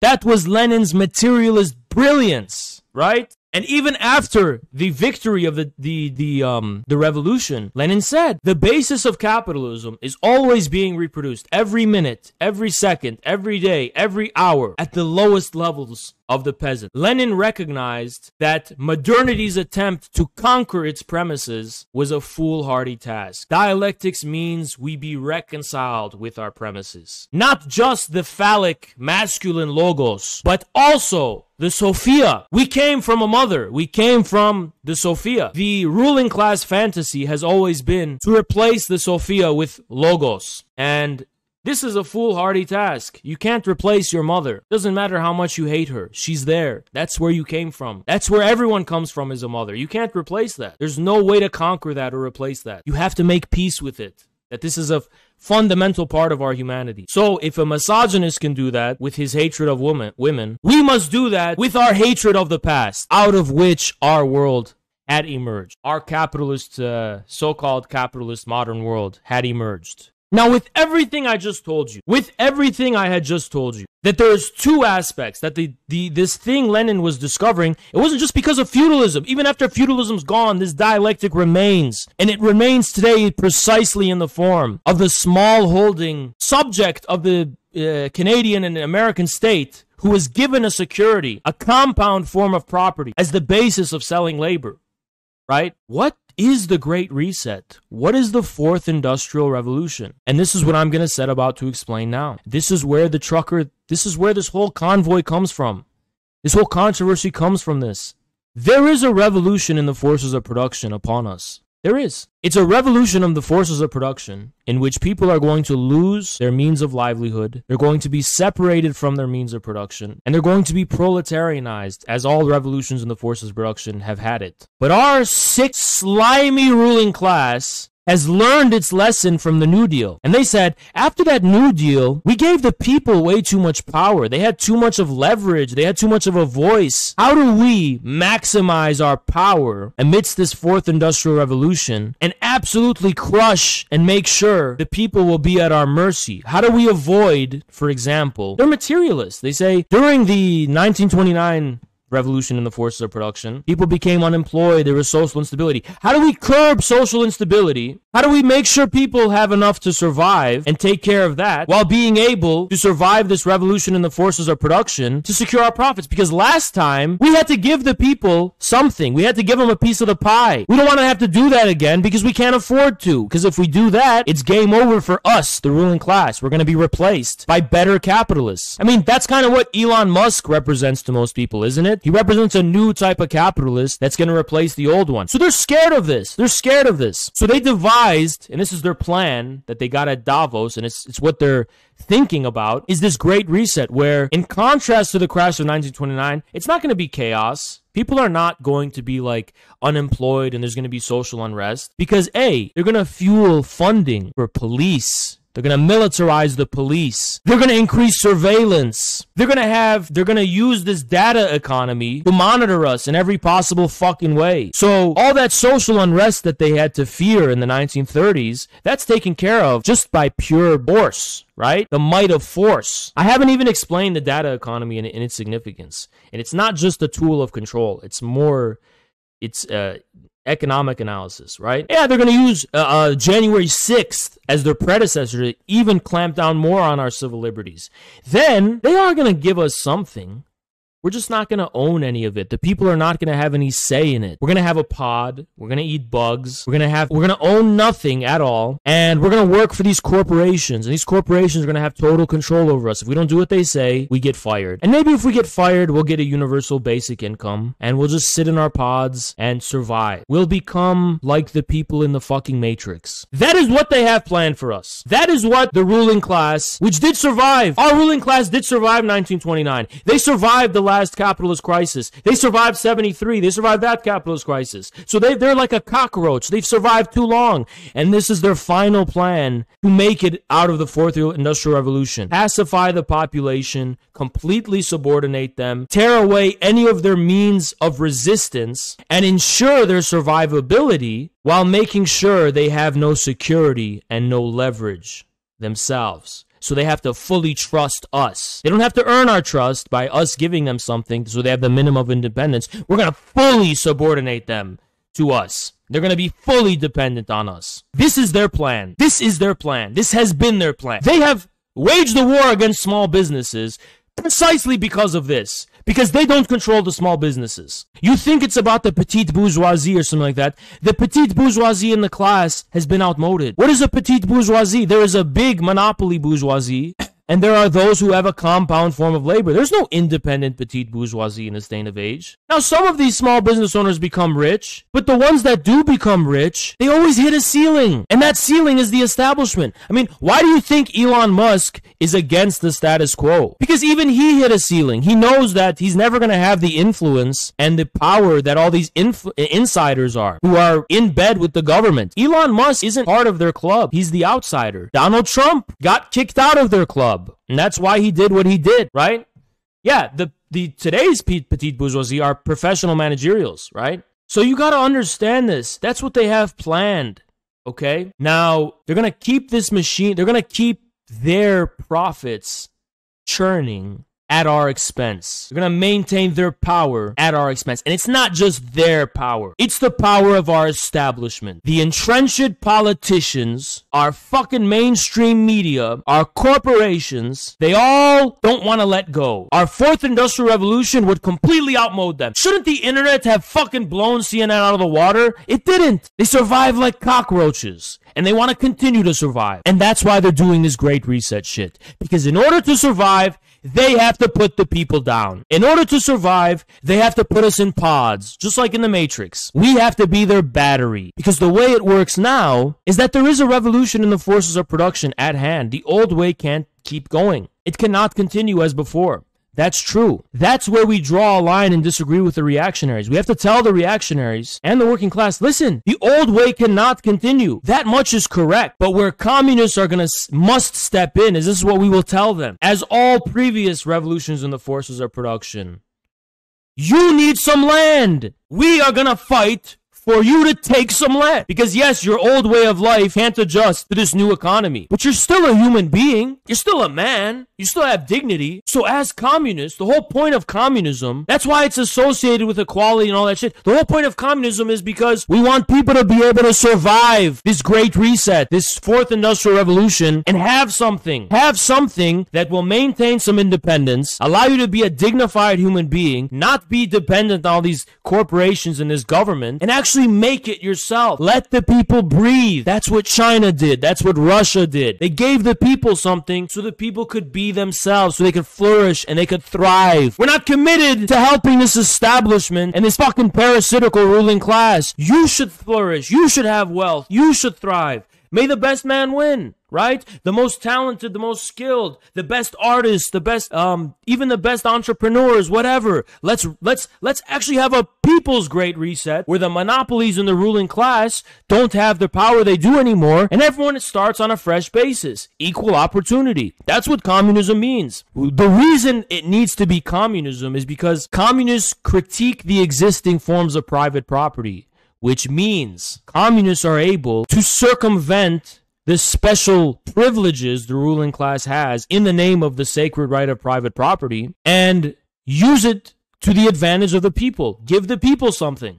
Allow the people to own something. And it's not just one thing, it's a relationship right? The government needs to have a relationship with the people, but it has to build trust. In order to build trust, you have to give the people something so they're not fully dependent on you. So they're not fully a slave to you and fully at your mercy, right? And from there, yes, there's probably going to have to be new regulations and new ways we maneuver that and get around that, but we'll focus on that in the future. For now, the people, we need to earn their, I mean, we communists need to earn their trust. The government, a new government, a people's government has to earn their trust. I mean, that's how China works That's the that's the bread and butter of the Chinese system. It's not full government unconditional control. It's a social contract between the people and the government. The government makes sure people have a minimum of independent livelihood, like land or a plot, uh, um, a single unit apartment that they own, so that the people can have a fresh base with which to flourish, and the monopolies don't get to implement satanic, evil agendas like the Great Reset, where they put us in fucking pods and fully suck our life force dry and enslave us.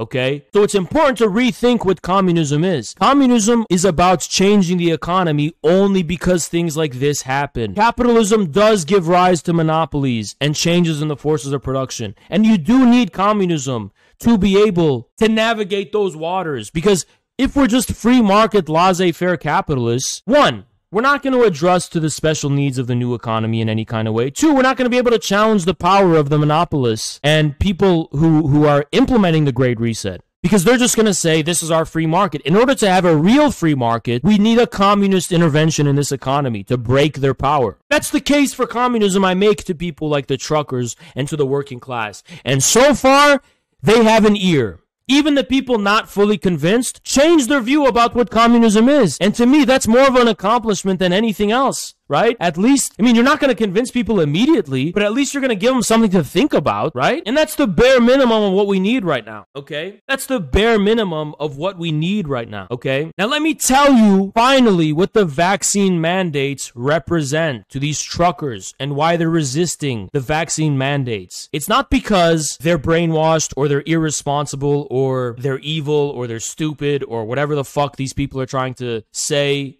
these leftists. It's for a very simple reason. The vaccine mandates represent a new type of socialization and regulation of the economy by the government in tandem with the fourth industrial revolution. I'll explain the connection soon. Don't worry about that. Without the securities. So imagine after the, you know, after the New Deal, how powerful the federal government got? It got very powerful. Why did the people tolerate that? Because the people also had something that they could rely on and be independent in regards. So the people tolerated all these new regulations. Yeah, the government You can regulate our roads, you can regulate all this shit because we get it, right? We're all interdependent. We need a way to like work together. We need this to work. We, we you know, we all need the same highway to get to work and back and, and go where we're going. So yeah, we need all these regulations to, to live, right? The fourth industrial revolution is also demanding a lot of new regulations, right? But the people are being regulated like these vaccine mandates without being given any interest, without being given any piece of the pie of the new fourth industrial revolution. So it's like they, it's almost as if, imagine if all those New Deal regulations happened without people being able to have cars in the first place and people being able to have homes in the first place. They're just imposing all this tyranny on us and we have no say in it and no part in it. What's in it for them? Nothing. Now people are saying, well, it's because of the pandemic. Give me a fucking break. There's been pandemics in human history before. It's not just because of COVID. It's clearly a stand-in. I mean, this fourth industrial revolution was gonna fucking happen with or without COVID. It's just that COVID, coincidentally, seemed to have accelerated it at the right place in the right time. Now, why do the vaccine mandates represent um, the new data economy and the fourth industrial revolution? I'll tell you why. Because I'll explain it like this the internet, social media, the so called metaverse, right, has fundamentally encompassed the whole of our lives. Total whole of our lives. Yet, the framework with which um, this has happened has still been on the basis of the voluntary liberties and rights bestowed to us by the democratic state. So, for example, I can opt out of this shit, you know? Um, it's fundamentally transformed our lives. I still have the liberty to throw this phone in a lake and go live in the woods or something and, and, and opt out, right? I don't have to be a part of it. I still have my rights and my liberties, right? This is just a thing, a layer on top of that. That's all it is. It's just a layer on top. Yeah, Cuba has no vaccine mandates, but a very high vaccination rate because of a specific relation between the state and its people. Exactly, right? Um, I don't have to be a part of this, right? So I want you to think of it like in Death Stranding, that game, the the chiral. You know, there's this, un, there's a, there's there's the in Death Stranding basically there's this invisible realm. It's called the chiral. It's called chirality. So everything in Death Stranding, like you turn on a certain, you have a certain equipment that allows you to see it, but like there's these like ghosts, these like these black dust particles or some shit that represent like this invisible force here, right, Be- between all of us. Well, that invisible force is the metaverse. It's the internet. It's the social media, right? So it's here, right? But the government has not caught up to the revolution in the forces of production. The base has changed. The superstructure has not yet adjusted to it. And one of the ways the superstructure is adjusting to it is by instituting all encompassing forms of regulation and control that are inescapable, just like social media is inescapable. It's just not formally so, right? So vaccine mandates basically represent this for people. Vaccine mandates represent the government being able to exercise total regulation and control the question is on what basis? So, for example, what the truckers are saying is, I'm in my fucking truck. Oftentimes, I own this truck, and I'm going to talk about that ownership thing in a second. And the government's coming and telling me I have to take a fucking vaccine. Why? I earned this truck. I had to work for it. I work my fucking job. What right do you have to tell me I need to take a fucking vaccine? Who are you? You're not in my business. You're not in my industry. Well, it's clear. The vaccine mandate represents a forced form of socialization. It's forcing these truckers to be a part of a sociality they don't want want to be. Well, it's not just that they don't want to be, but it's forcing them to be a part of a sociality without giving them the basis for which that sociality benefits them economically. So it's like they're being, they're, it's a forced form of socialization. They'll say, oh, you have to take the van, vaccine mandates for the benefit of us all. Who the fuck is us all, right? I'm a trucker driving my fucking truck making a living. I'm not, you know what I mean? I'm not part of you. I make my bread this way. I don't make bread with you. We don't make bread in a social way. I have to sit in my fucking truck and make it myself. You're gonna force this fucking mandate on me, right? So the government's sticking its nose somewhere without paying for it. You understand? It's sticking its nose somewhere without paying for it. The way the government could pay for that potentially is um give the truckers something, right? Or um, prepare them for this new fourth industrial revolution and have a new relationship between the government and the people. They might be more inclined to take that vaccine. They might be more inclined to feel like they're part of this bigger social community where we have to have public health and care about our common health and, and whatever, right? So that's how you would do it. That's how communist states have done it, right? Because they have the trust of the people, right? When many people don't want their products handled by non vax truckers, then don't pay for non vax truckers. It's just fucking stupid. Like, you're a trucker.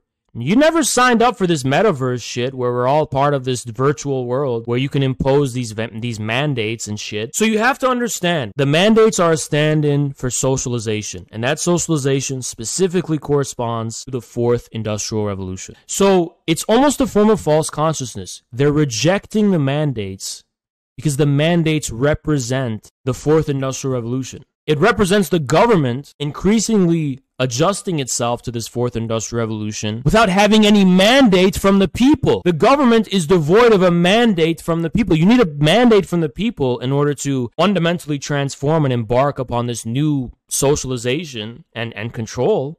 They don't have a mandate from the people, and yet they're trying to force a vaccine mandate upon the people.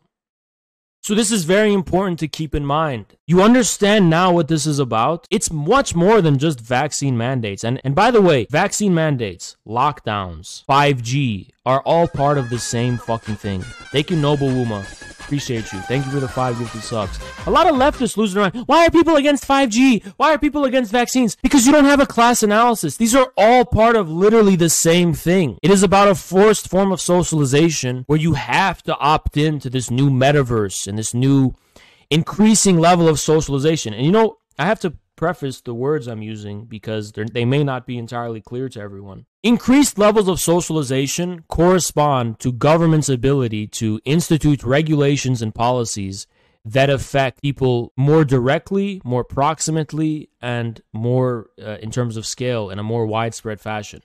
The government has like more power to regulate aspects of our lives when our lives become so closely intertwined to an extent that we're socialized, right? So this specific form of intertwinement of our lives during I mean, you could say, oh, there's always been viruses and this would apply to any other moment in history, and it just wouldn't, right? Because again, this change was happening before coronavirus. Coronavirus has merely accelerated it, and it's a form of opting us in to this data economy, to this new metaverse, whatever the fuck you want to call it, right? Do I think 5G is supposed? I don't know anything about 5G. All I would say is that the reasons people oppose it are not actually because of the health concerns. That's what they say, but look at the class. Look, have a materialist analysis of things, right? Okay. Now, it's like that's very important, right? Now, um, what you have to understand when it comes to that vaccine mandate is there's a lot of ways that it's related to the fourth industrial revolution and the data economy. The first way is that it's a form of data. A vaccine mandate forces you to have proof of vaccination. And soon that becomes a registry of like, can you enter this business? Prove that you're vaccinated. Now, the pandemic may end and the proof of vaccination may disappear. But the more fundamental way of this kind of state inscription of are you excluded or are you included is going to remain this more fundamental way of regulating people's status in order for them to participate in the economy is going to be applied to other things too, not just their status as it pertains to the virus and vaccination. That's part of the metaverse and the data economy and the fourth industrial revolution, right? It's all part of that. Smart cities are going to increasingly regulate people's behavior, people's um, statuses through surveillance uh, in order to better optimize businesses to address people's wants, to address people's needs, and to know what kind of people they're dealing with in the first place. Oh, you're a criminal? You can't enter this bar. Oh, your face reflects a, a, um, a, a heightened mood of anger and aggressiveness. You're not going to be like these small things optimize and make businesses and make the process of extracting money from consumers more efficient right? I have detected a change in your mood. I mean, that's what the data economy is about. The data economy is using AI uh, in order to optimize the forces of production around what consumers demand, right? Oh, your mood is sad. Would can I? May I, Alexa? I will recommend you uh, a fucking flashlight. I don't fucking know, right? It that's that's what it's about, right? So the vaccine mandates are a way to like make that real, not just from your smartphone, but just when it comes to business, it's forms of codification and inscription of the population in general. Right? We've never had that before. Like, when have we ever had this thing where it's like, oh, yeah, in order to enter the Walmart, you're going to have to have a proof that proves you're included and excluded. Let me tell you some other scary implications that vaccine mandates are setting us up for. So we used to just be citizens, where we could just breathe as citizens. I'm a citizen, you're a citizen. I can walk with my nuts hanging and go to Walmart. The rights, the democratic rights entailed to us by citizenship are going to be stripped away. Soon, we're going to have other forms of regulations. Like, for example, can you enter this Walmart? What is your workplace status? How many funds do you have? What is your standing with uh, the court? I mean, that's why people raise the fuss about China's social credit system because that's what they see it as. It's like you have a social credit system and it's going to determine what your freedom of movement and your freedom of purchase. But what people don't understand is that China's social credit system is, is a grassroots thing and it specifically applies businesses and not individuals. It doesn't, you know, and it's specifically about promoting good behavior, right? Like don't litter and don't be a slob and shit. It's not meant to enforce political loyalty or political correctness. But it is going to become like that in the West and in America and in Canada, right? Um so we're going to actually have, you know, the thing that they're saying, the social credit system in China, it's not actually how it works in China, but we are going to get that here in the way that they're just like the sh- the boogeyman of the social credit system. We're getting that here. Right? They don't have that in China, but we're getting the thing we accuse China of having. We're getting that here. It's going to go way beyond credit scores. I mean, think about what this new culture of vaccine mandates opens up. It's a slippery slope. Oh, we accept vaccine mandates now why don't we accept other forms of identification and, and um, proof of uh, submission to the state and to corporations to Silicon Valley? There's going to be other forms of proof of loyalty. So this is a very imp- now, I, I was talking about the Lysenko shit uh, a few days ago and stuff because I was specifically addressing the justifications for vaccine mandates, which is trust in the science and the establishment. And I proved to you the science is shit. It's a idol. It's a uh, it's a Baphomet.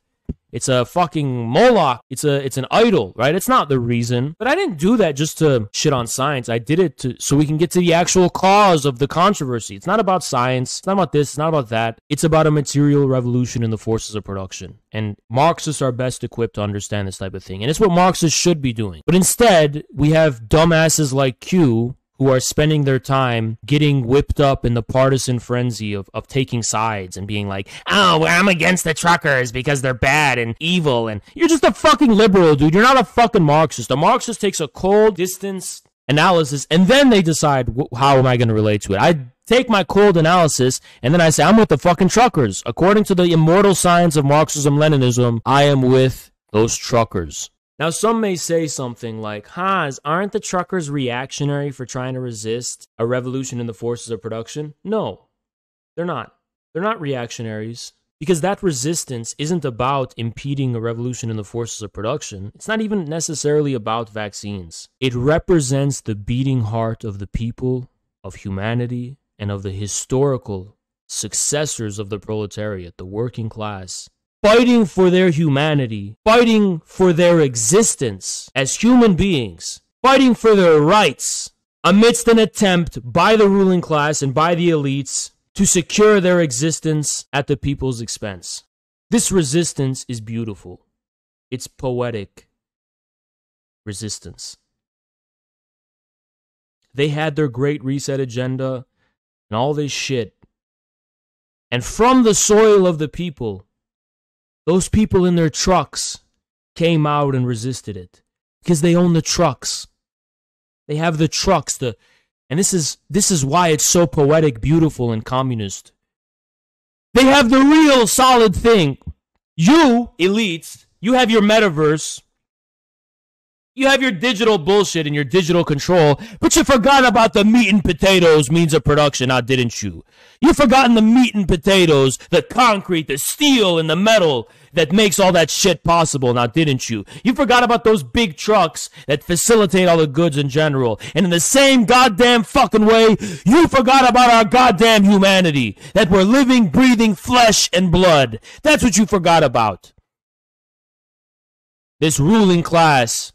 It's the meat and potatoes they forgot about, and it's the meat and potatoes that the truckers have. Now, finally, there's one last thing I want to address before getting deeper into the critique of Q and his fucking bullshit. He doesn't know shit about Marxism, doesn't know shit about anything. I'm going to debunk it. Many of these truckers, if not most, he claimed that they're thriving and they're, they're privileged doing so well. Even if they own their trucks, how many of them are in debt? How many of them work as indentured servants paying off the debt because they don't even really buy the truck. They it was loaned to them and they're paying off the debt for it. You forgot how this is also about debt. They're facing extinction as a class because they can't pay off the debt the traditional way in which peasants were separated from their means of production. That's the creme de la crop. This is an article I'm going to take some time to debunk with you all. We're going to refute the common claims. The trucker convoy is not a workers' revolt. We'll see. We'll go ahead and see about that. Oh my God. He earned his PhD in sociology from York University. A fucking useless PhD, dumbass PhD, useless fucking time wasting dumbass. I shit on your PhD. I wipe my fucking ass with your PhD. I have given you like a dozen possible explanations for why they're resisting the mandates based on materialism. This guy's just going, I don't know. It's so, it's just one of those absurdities of life. Such as the brilliant and sweeping analysis of the controversy at hand such as the impartial, cold, materialist analysis of Adam King. That he's going to tell us that he doesn't get it. It's just, it's just a needle. That's what this all. What a fucking philistine! What a fucking idiot! It's just a needle. It's just a needle. No, clearly it's a lot more than just a needle. Clearly it represents a lot more to these workers, right? Clearly there's way more at stake for them than just a needle. This is as fucking stupid as saying like that politics is just about policies, or it's like I don't know. Um, this is just this is as fucking stupid as saying the Black Lives Matter protests were just about George Floyd. Yeah, people make a big deal of shit that seems small because those small things symbolize much bigger things than just them by themselves. Like, it's just Marxism 101, you fucking dumbass. This guy would read Shakespeare, and this is an anti Semitic part of Shakespeare, so trigger warning, I guess. But he'd read Shakespeare and he'd be like, oh my god, why was Shylock making such a big deal out of that pound of flesh? It's just a pound of flesh, Shylock. Why are you making such a. Like, this is the level of Philistinism and literary analysis. For reference, in Shakespeare, Shylock was a Jewish merchant who, um, he gave out a loan to someone, and he said, listen, motherfucker, if you don't pay back this loan, you don't have any security to give me. So if you don't pay it back, I want a fucking pound of your flesh, right? And the guy's like, oh, okay. So the guy, something happened. There was a storm that fucked up the investment. And Shylock literally demanded, give me that fucking pound of flesh, motherfucker. And he wanted it so bad, but it's not because he wanted the pound of flesh. He wanted to make a point. He was sick of the hypocrisy of society in, you know, the way it fucking didn't make account for its debts. Like, not just financial debts, but like in general, right? but it's like, this is the level, this is like such a Philistine idiot dumbass. Something as innocuous as, I suppose these are the unfortunate times in which we live. So this guy is positioning himself as like wiser than the world. He's in the know. He's so much smarter. Uh, this is just the ridiculous times we live in, guys. What a sweeping mature analysis of the situation. This is just a fucking NPC. That's all he is is an NPC. He doesn't have any independent thoughts. He's literally just assuming that his establishment mentality, his professional managerial ideology is shared by the whole world. Why do I have 260 fucking notifications? I don't want 275 fucking notifications. Excuse me. Excuse me, I just don't. Okay, continuing. Um the vaccine mandate required those in international trucking who crossed the United States border back into Canada to be vaccinated as of January 15th. Similar vaccine mandates been rolled out for other federally regulated employees as working area. The Biden administration has imposed a similar mandate. CTV News reported that those leading the Freedom Convoy claim 26,000 tr- truckers may not comply with the mandate. It seems like a considerable overestimation. The Canadian Trucking Alliance says that 85% of the 120,000 truckers have already been vaccinated. Is there any interest why the Canadian Trucking Alliance would have a reason for making that up? Hmm. Let's look up the Canadian Trucking Alliance. Let's just see if we're just going to accept their statistics. What is the Canadian Trucking Alliance? What is this relationship to monopoly trucking companies and the establishment? I wonder. Let's do a little bit of research and follow the fucking money. So it's a federation of provincial trucking associations. Okay, that's weird. What are these provincial trucking associations? Um, cross town or cross country, the choice is yours. The face of trucking and career opportunities it provides are changing. Oh, how are they changing? Look at all this fucking uh, internet bullshit. Tech savvy. Oh, they want. So it kind of looks like they want fucking hipsters, techie hipsters, to be the truckers. And for whatever reason, it seems like they're a little bit dissatisfied with the current demographic of truckers who are just boomers and um, not really tech savvy people. So it, it kind of looks like something's going on with I, I, don't know, it, it seems doubtful that they actually represent truckers. It seems like these are people with an agenda to bring in more truckers. Why would they have that agenda, right? There's a labor shortage of truckers. What agenda do they have to to to solve that problem? How does that help truckers? It makes it makes truckers have less economic leverage, right? So is this does this represent truckers or do they represent trucking companies and trucking monopolies in bed with the establishment and the government? We'll have to find out.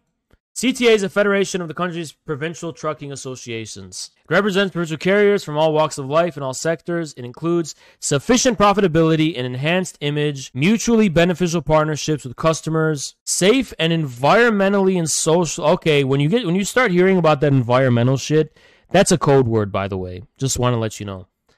Um, Okay, this is really mysterious and vague, but I'm going to go ahead and deduce, without being able to conduct any further uh, research, that this is glowy as fuck. This is the establishment, and their fucking claim probably shouldn't be trusted. That all the truckers are happy and satisfied, and that these this is just a minority of bad apples. Of course, they're gonna say some shit like that. It's fucking ruling class propaganda and nothing more. So we can already deduce that's not a very reliable source. It's ruling class propaganda, government propaganda. The federal minister Oh, oh, the federal minister of transportation put it at 90%. May as well put it at 95 since you're probably just pulling it out of your fucking ass. But even if it was true, for the sake of having the devil's advocate, that the majority are vaccinated, it doesn't say anything about whether they want to be vaccinated or whether or not they relate to the resistance against the vaccine mandate for the material reasons I gave you before, for the class and material reasons. It doesn't even address any of that. According to these numbers, yes, according to these numbers, somewhere between 12,000 and 18,000 truckers who regularly cross the border are currently not vaccinated. And I'm willing to bet that more, a few of them would rather get shot than lose their jobs. Get the shot than lose their jobs. Ah, we're just gonna threaten you with getting fired. They will obey me if I threaten them. Why don't they get it voluntarily? Why do you have to threaten them with their jobs? What he's de- this person's definitely made the successful case that there's no basis among the majority of truckers for the freedom convoy. It's just a few bad apples. We just have to pretty much like force them to get the shot at a proverbial gunpoint. But, you know, we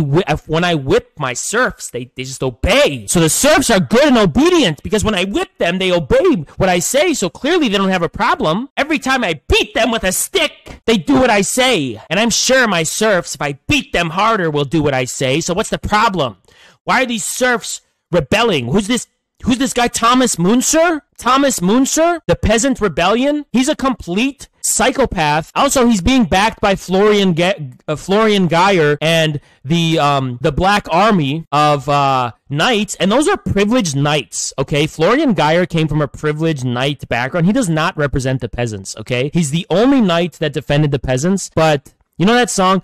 Das in Westgeiers Vaterhaufen. Hey! Yeah, that's propaganda because you know this this um uh the black band of Florian Geyer. Uh yeah, that that was those were not peasants. Those were knights okay? So clearly they don't represent the peasants okay? Most of the serfs i beat them with a stick and they listen to what i say. So be like a good obedient serf be like a good peasant and listen okay? Because when i beat them with a stick they do what i say. When i threaten them with their jobs being lost they'll be more than happy to comply. It's just these rabble rousers causing disarray. Ah, my PhD candidate. I'm a PhD. I have a PhD. It makes my nipples hard. Ah, I'm thinking about all the power I'm gonna have in this new great reset. They're gonna have to all listen to me, and I'm gonna be able to control all these vulnerable people.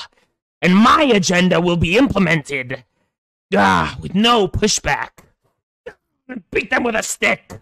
So far, The liberals claim there's been no noticeable reduction in trucks. Ultimately, the number of truckers who prize their freedom. Freedom. Freedom. There's some freedom for you. You just haven't had a good old taste of the whip. Bah, bah, bah. Yeah, once you get a taste of that whip, keep talking to me about your freedom. These peasants and serfs going on about their freedom. Oh, excuse me. Freedom? Next, they're gonna start talking about having rights. No, no, this is the best one. This is the best one. Next, they're gonna start talking about having liberties. oh what's next? What's next? We're gonna let these peasants vote? oh man, it's just out of the ballpark. Freedom? Really? Freedom? I mean, what's next? what's next? Uh, independence, like emancipation. Oh, okay, yeah. Let's just emancipate the serfs, guys. let's just let's just emancipate the serfs. I mean, these these peasants and their wild delusions. It's crazy. It's crazy. It's absolute madness. You know. Anyway, I would say get others sick over maintaining their livelihood is likely to fall well short of the projections by the political hucksters orchestrating this modern so-called Woodstock of the petite bourgeoisie. Because, you know, listen, the petite bourgeoisie, those are the citizens. Those are the working class. I hate them. You want to know why? Because they're a little bit independent from me. Meanwhile, these vulnerable migrants and marginalized groups, ooh, they're so desperate. It's so easy to control them. oh, you better listen to me or else you're getting deported. You don't have rights. You're not a citizen. You're grateful to be here so I can control you the petite bourgeoisie, you know, the people who have the minimum of independence, who have leverage, the petite, the people I have to convince, who aren't going to rely on me based on pure social desperation, who I can't immediately institutionalize to realize my agenda, the people I've had a hard time convincing to be class conscious after the 70s. I read Chairman Mao's works. I read the works of Chairman Mao and the quotations of Chairman Mao. And when I went to that construction site, they all spit in my face. So I hate them. But when I talk talked to a crackhead on the street, he was pretty open to it. Hmm. So I think I know who the real proletariat is now. Haha. I know who the real proletariat is now. Anyway, let's continue. The extent to which this convoy is actually about trucking or truckers is debatable. The network of far right, wealthy organizers and donors backing Florian Geyer, yeah, he was a knight. You think Thomas Munzer represents the peasants? Why are all the knights backing him? Okay. Calls claims of authentic connection to working class truckers into question. The convoy's two principal organizers are no figures of Canada's far right. The Canadian Anti Hate Network draws a range of further connections between the convoy and far right, racist, and xenophobic elements. Oh, I really believe you. Let's see, these are the two principal organizers. What is the evidence of these being the two principal organizers? Is there any evidence of that? Okay, a key party fi- figure in the Maverick Party is leading a fundraising effort. So that means he's the leader of the convoy? No. If the far right are the first ones to organize fundraising, that doesn't mean they're responsible for the fucking convoy itself, you dumbass. You should have been there faster to fucking organize that fundraising than they were. They got there first. You snooze, you lose, you dumbass. You were out here denouncing, even before they started fundraising for anything, you were denouncing these fucking truckers. Don't fuck fucking sit here and tell me your excuse for hating them is because of the far right organizers, when even before these people started fundraising anything, you came out against them, you fucking liar and dumbass. The Toronto Star reported last week that GoFundMe, I hate when people can raise money without institutions controlling it, through which the convoy organized raising money, was freezing 4.7 million. Ah, ta-da! Until it verified where the funds had come from and on what they'd be spent. And you know why? Because it's just a rational thing. There's no ruling class agenda. There's no class bait. There's no class war. It's just the rational versus the irrational. And I'm a Marxist. And this conflict is between the irrational mob and the rational sane. You know, it reminds me of this movie I watched, Marie Antoinette. I don't know what like what the French Revolution was or what Marx had to say about it, but I'm pretty sure he would have been on the side of the rational nobles and would have totally denounced those irrational mob rabble rousers who were just, how dare they? Marie Antoinette and, and her friends were rational. And, you know, I, I'm pretty sure Marxism is about being on the side of rational people and not crazy rabble rousers, okay? Convoy organizers claim the funds are used for fuel, food, and loading truckers. When the convoy came to Kingston, Kingston police counted 17 full tractor trailers? 104 tractors with no trailers? 424 passenger vehicles? 6 RVs? That's some expensive gas and hotels. No, it's not. Do you know how much that shit costs? Do you know how much this shit costs? Are you stupid? Are you a fucking trucker yourself? You don't know how much it fucking costs. At least one third of the 2.8 million came from anonymous donors. Oh, like the anonymous donors that funded the Bolsheviks sometimes? Yeah, that happens. You know, there's anonymous donors who fund me. They're called oil princes. Sometimes they come in and give me 100 subs. Does that, you know what I mean? That's how it works, you fucking idiot. Just because someone has money doesn't mean they're aligned with the ruling class. People who have money can have all sorts of ideologies and views and causes they want to support. You're an idiot. Or those using fake names. In some cases, donations as large as 25,000 were made anonymously or using aliases. The latter, a violation of GoFundMe's terms of service. You violated the terms of service, now didn't you? Mm-mm-mm. And by the way, I'm the one who reported that. As of January 23rd, 31st, the convoy had raised more than 9.4 million. What? You mean they had mass support from the people? And you mean people rich and poor and in the middle were all donating to them? What? No, no. It's all Nazis. The CTA, which represents the real truckers and not the establishment, and that totally believe me, trust me, with Alghabra, Seamus O'Regan, the federal minister of labor, and Carla Qualtrough, the minister of employment, distancing itself from the so called Freedom Convoy. Oh my God. Hold on, wait. All right, guys, I was wrong. Everything I said was just this whole stream was wrong. Because it turns out the government distanced itself from the Freedom Convoy and the government shill CTA. I can't believe the government distanced themselves from the convoy. I can't believe it. I can't believe I I give up. I, I lost. It's I you know, I might as well leave. Why am I still here? Why am I even still here? Okay, I didn't know the government denounced them. I shouldn't. Even, I'm. This is embarrassing. I gotta go, guys. Sorry. Bye.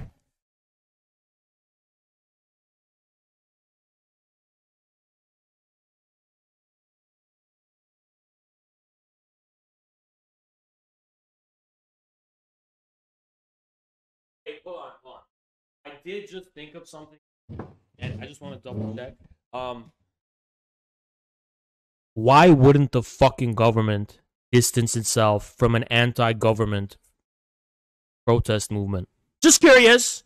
Before I go, can you please tell me that?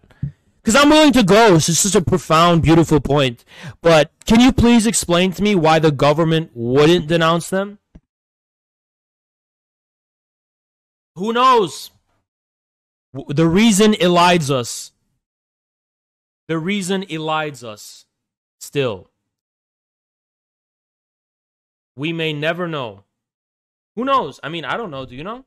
We may never know. It's complete mystery. Okay? Let's continue. Yeah, there's no way to tell, honestly. The joint statement reads in part Since the outset of the pandemic, the government of Canada, Canadian Trucking, I don't give a fuck. The CTA, as the largest trucker employer association, has. Are you to tell us about what the CTA actually is, or are you to fucking lie? What does this mean? What does a large trucker employer association means? Because it sounds like a government thing to me. It sounds like something in bed with the government and the companies and the establishment. To me, that's what it sounds like. It sounds like the monopoly trucker companies are this. Wait, hold on. Wait. I didn't even see that. Hold on. I I, I actually didn't see this. it's not even an employee association. It's an employer association. These are literally the bosses. It's a fucking association of the bourgeoisie. I literally didn't. I, I didn't. I, I. I. It's so like unfathomable. I assumed this was employee in my head. I just caught it. This is an employer association. The CTA is an employer association, which means it's the fucking bosses. You fucking idiot. Oh my god, the rule. the managers, the employers are against it. What what is this? Hold on. Adam D. King. He's a union researcher. I bet, I don't know what kind of research he's doing, but he's citing the authority of an employer association. Guys, think of the employers. Think of the bosses, the employers. Yeah, he researches grad student unions. What? What am I? Okay, hold on. You know what? This this is so beautiful. You know, uh, for all their posturing, they're always gonna go back to sucking the cock of the ruling class. That's what these people do. This he's he's like effortlessly citing the CTA like a legitimate, respectable authority. That's the employer association, though. That's the employer association. What? You're just gonna you're just gonna like you're just gonna like agree with them and be like, okay, yeah, they're right. You're just gonna side with the bosses, basically. It called on protesters to remain peaceful and sought to disavow any connection to far right elements. the Association of Provincial Trucker Employer Groups had previously argued against the vaccine mandate, presumably knowing that a vocal minority of its small business membership opposed the policy. On the other hand, as the business representative for the industry that is most engaged with the federal government, it understands and wants to maintain its access to those with influence and power. I, he wrote this, not me. He literally just said the CTA is in bed with the federal government it represents the industry and wants to remain it wants access to those with influence and power. So what does that say about the statistics they gave here, distancing themselves and saying 85 with all this shit? Literally, shut the fuck up. Spoke from the industry, complain of a labor shortage. Conservative MPs are not parroting the line. Steve, the narrative of a perpetual struggle shortage serves those with real power in the industry. The myth of a constant labor shortage allows. But there is a labor shortage because of the pandemic, you fucking dumbass. If there's like a tendency for them to exaggerate labor shortages, whatever.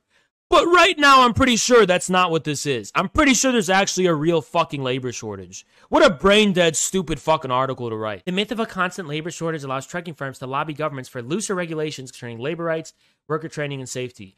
Okay, but there actually is a labor shortage right now. There is one right now. And actually, the labor shortage helps truckers because it increases demand, which means they get paid more as long as, you know, they're not the fucking monopoly industries who are hiring people. Labor shortage is entirely superficial. I'm looking for a citation, and he's talking about the 1980s. In the pa- in the aftermath of the pandemic, is there a labor shortage? Where's the citation for this that it's entirely superficial? You may claim that the long term it was entirely superficial, but how about now? Deregulated to break the power of organized labor and increase competition through a proliferation of small non union firms. Once free trade agreements with the U.S. came into force, Canadian trucking was overhauled in the same way. Populated by many competing for hire trucking firms, a proportion of which are operated by relatively wealthy small business owners. Well, what proportion? What proportion? You know, you see this vague language. He does, he's saying a proportion because he doesn't want to tell you that it's actually a minority. The majority are not wealthy. It's a minority who are wealthy. The result for most trucking workers has been disastrous. Working conditions of pay become so degraded for the majority that turnover is at record highs. Workers are under countenance in terrible conditions for so long. It's almost like the trucker convoy is the boiling point of all that, just like Trump's was for NAFTA. NAFTA lasted decades. It only came to the fore with Trump. This leads to a situation where there's actually a surplus of trained and licensed drivers, but growing numbers of them driven out of the industry by its horrendous conditions. Here's the race stuff. They're dependent on a steady influx of temporary foreign workers whose vulnerable citizenship status leads them ripe for exploitation, which is true, but that also means they don't have enough leverage to be able to revolt.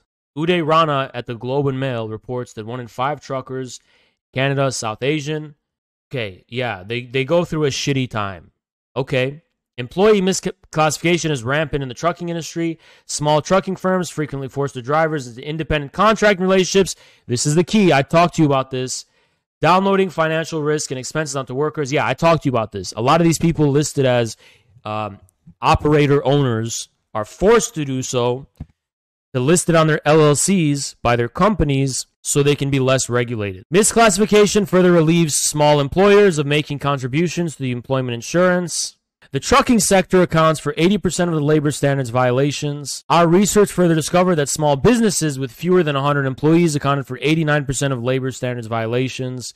That's not surprising because the bigger ones are in bed with the government. The smaller firms employ only 13% of workers in the federal jurisdiction.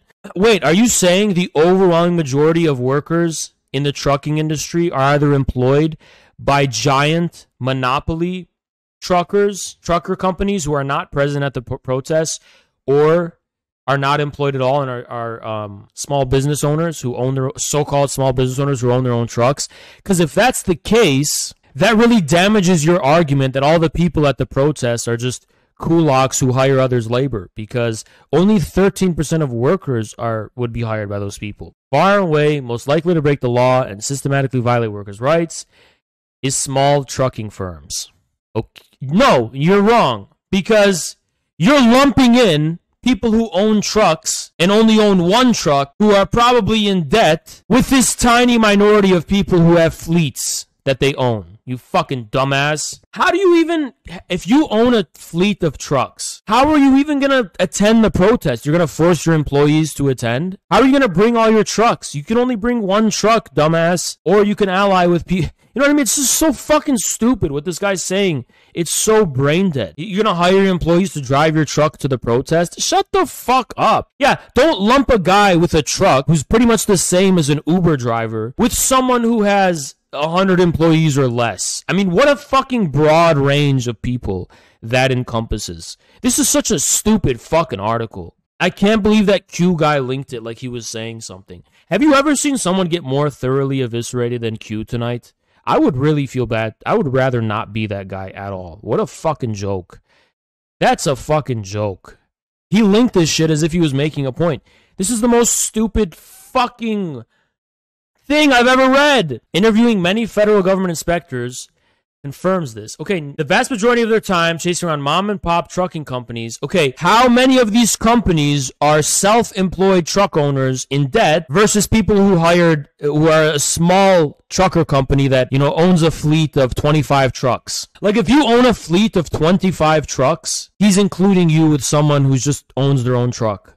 This is the most stupid fucking methodology. Wait. It's almost over? Hold on. I was waiting for the part where he proves his thesis. He has to prove his thesis that the trucker convoy is not a workers' revolt. That's what you have to prove here, you fucking idiot. You didn't even prove it. We're getting to the end of this shit. I didn't get any statistics. I didn't get any data. I didn't even get any claims made. So let's see what he says. It's safe to assume that the people who made the trek to Ottawa aren't the same people filling labor violations claims with the federal labor program. Why? Why is it safe to us? One, why is it safe to assume that?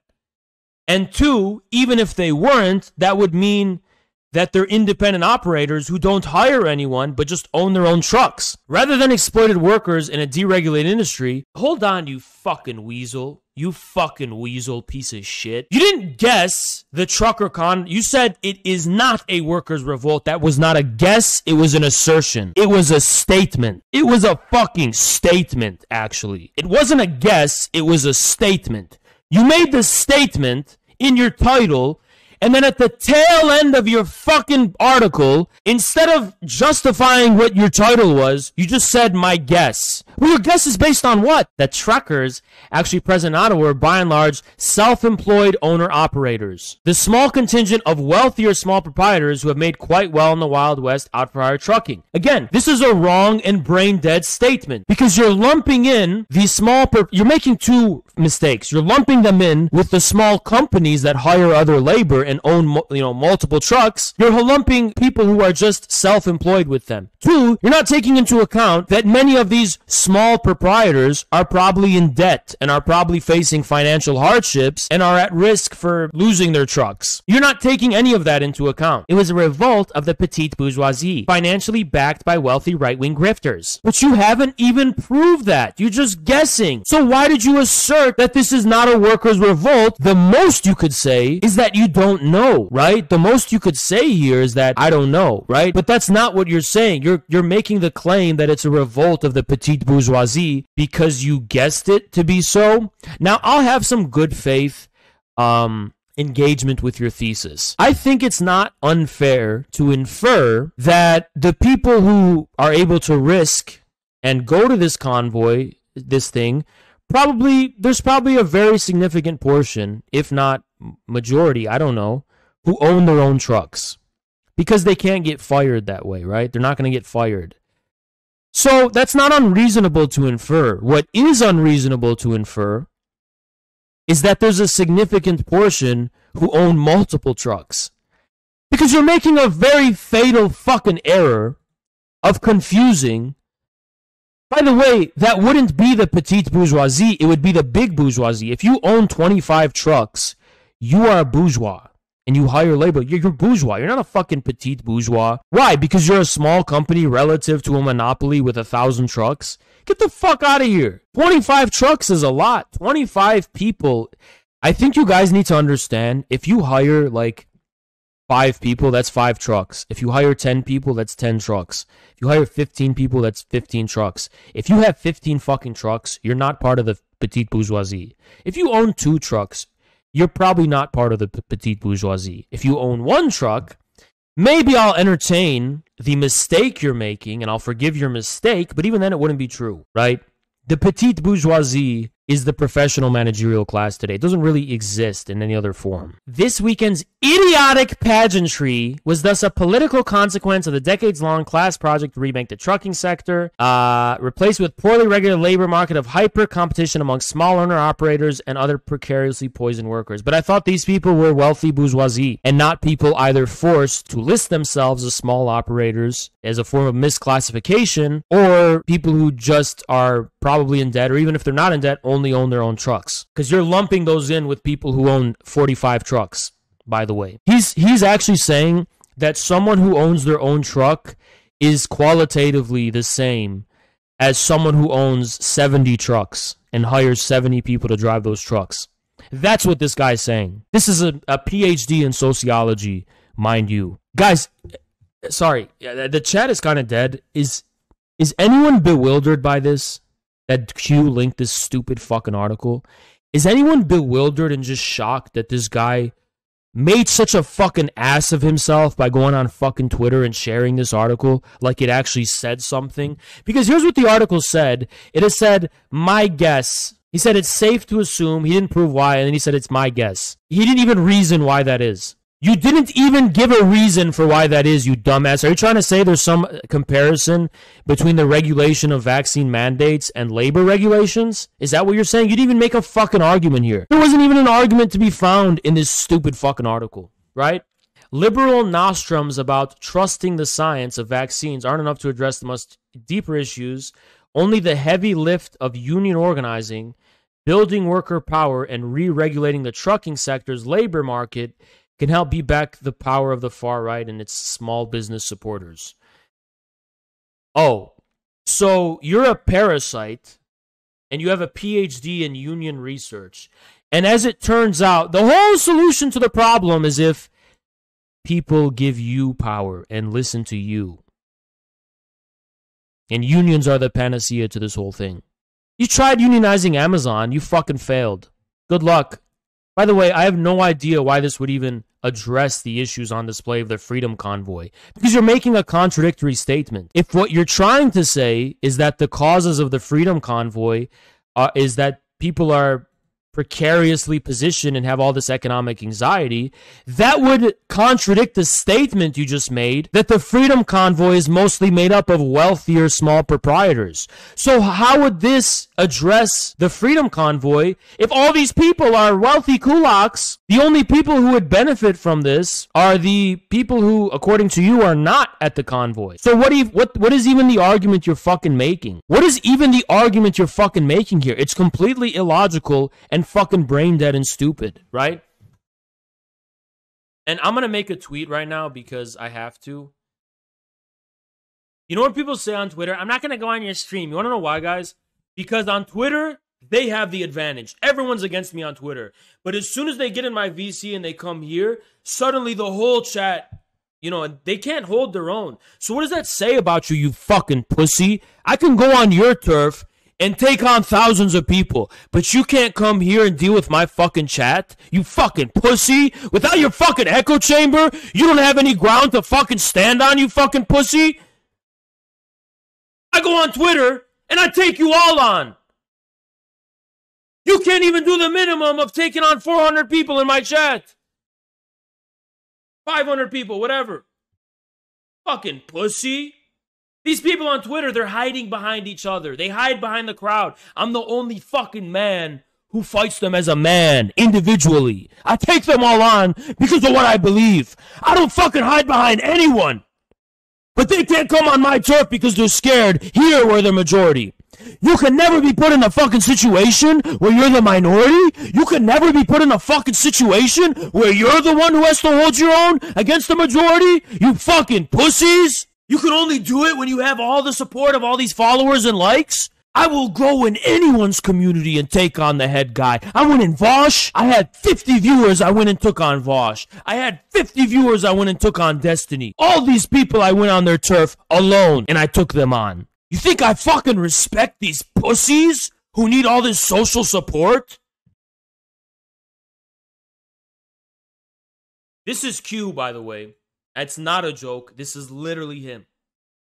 This is actually Q. This is actually Q. I, yeah. That's actually him. And yeah, you know who this is? It's Justin Trudeau. And this guy calls himself a Marxist. He says he's a Marxist, whatever, and he's this he's this he's this revolutionary, right? And doesn't shit just make sense? Shit just kind of makes sense, doesn't it? It just kind of makes sense like that. I mean, you will not find me you will never find a picture of me shaking hands with someone like this. You just won't. Oh yeah, I want to I want to expose more of uh, Q's blunders because this actually is fucking um, embarrassing, right? So there's two tweets I'm gonna address, right? There's this one, this one. Okay. So the uh, two ones I'm gonna address, and we're gonna move on to covering the Jackson thing. So this guy, such a smart guy, I told him to read The Development of Capitalism in Russia because he alleged the middle peasant only came about after the revolution. That's not fucking true. It existed as early as 1899. And he, he says, oh, the wealthy peasantry took the, their place among the petite bourgeoisie. See, look at this carefully worded language. The wealthy peasantry among the petite bourgeois, among which petite bourgeois? The, the minority of them that exploited other laborers or the people who just owned their own land and didn't hire any labor? That's a very important distinction. Lenin thought it was an important distinction. So this is the evidence he provided me that Lenin agrees with him that the petite bourgeois peasantry were bad, right? Here's what Lenin said. The system of socio-economic relations existing among the peasantry shows us the presence of all those contradictions which are inherent in every commodity economy and every order of capitalism. Competition, yada, yada, yada, concentration of production in the hands of minority, forcing of a majority into the ranks of the proletariat, their exploitation by a minority through the meeting of merchant's capital, and hiring of farm laborers. There is not a single economic phenomena among the peasantry that does not bear this contradictory form, one specifically peculiar to the capitalist system, that does not express a struggle and antagonism of interests, does not imply the advantage of some and disadvantage of others. It is the case with renting the land, the purchase of land, and with the industries. Okay. What does this have to do with what I said? This doesn't address what Lenin said about the small petty bourgeoisie. Is this fucking idiot trying to say that Lenin made the claim that all peasants were either proletarians or capitalists? That's not true. Lenin understood there's a lot of shit in between. He wrote about it. Holy fuck, do I have to pull it up? The development of capitalism in Russia. I guess I have to pull this shit up now. Differentiations of the peasantry. So, conclusions. Okay, so keep in mind uh, Q claimed that the middle peasantry does, did not exist before the revolution. Lenin wrote this in 1899. Here's where he talks about the middle peasantry. The differentiation of the peasants, which develops the latter's extreme groups at the expense of the middle peasantry. Keep in mind, Lenin was describing a phenomena, a phenomena that never fully came into fruition. But on top of this phenomena of the differentiation of the peasantry into proletarian and bourgeoisie, there was the middle peasantry. And the middle peasantry were just these, the democratic petty bourgeoisie who just owned their own land. That was the middle peasantry, okay? Who remained the majority mind you. They were undergoing a class struggle internal to the middle peasantry. So this guy's a fucking dumbass. He cited something that talks about the way in which the middle peasantry has its own class struggle, but nowhere does he no nowhere does it address that Lenin regarded the middle peasantry as a revolutionary class as a whole, taken as a whole. Now he thought the proletariat should lead the middle peasantry, obviously, but he was referring to the middle peasantry as a whole. Okay? Um and this is what he said. Peasants who worked their own land and did not exploit the labor as others were largely present before the revolution. Yes! Lenin literally talks about them here and here and here and here and here and here and here. Yes, they were. What a fucking illiterate guy. This is the guy who argued with me, who ratioed me. Look at him. 155 likes, 165. Where's how many did I get? 80. This is how fucking stupid Twitter is. I'm losing my mind. You'd think I'm wrong. Is this a sign I'm wrong that I get ratioed? How can I be correct though? I got ratioed. How am I correct? How is this guy a fucking idiot who is wrong and I'm correct? Can you explain that to me? How is he wrong yet he ratios me and I'm correct? Can you explain that to me? I'm losing my fucking mind here. This is how fucking, if you want to know why Twitter's fucking stupid and that what's popular on Twitter isn't what's true or what's correct, look no further than here. This idiot doesn't even know that the kulaks emerged after the Stolypin reforms, not the revolution. The Stolypin reforms created the kulaks. Before the revolution, the majority were middle peasantry. The development of capitalism in Russia referred to the way in which the middle peasantry were increasingly being divided. Yes, but they remained the middle peasantry all throughout, up until even collectivization. In the majority of cases, the middle peasant cannot make ends meet without resorting to loans to be re- repaid by labor service. Every crop faring the middle peasant, the rural proletarian, by comparison with the middle peasantry, consumes less. So he's distinguishing the middle peasantry from the rural proletariat and the pe- peasant bourgeoisie. Lenin regarded the middle peasantry as the revolutionary class, led by the proletarian element within it, which would be brought out through the industrial urban working class. So that's why he believed in the alliance of the urban workers and the rural peasants. And Lenin and Mao discovered that you don't even need to go through the urban workers, you can just have the, the peasants lead the peasants. Because the urban ones are actually not revolutionary. Lenin learned that the hard way. After 1917, the urban working class betrayed the revolution. They led strikes, they sabotaged shit. They proved to be a counter revolutionary force. Did you know that? Or they either joined the army and died, or the ones that stayed, they were sabotaging shit. They were going on strikes, they were protesting the Bolsheviks and all this fucking bullshit. They were wreckers.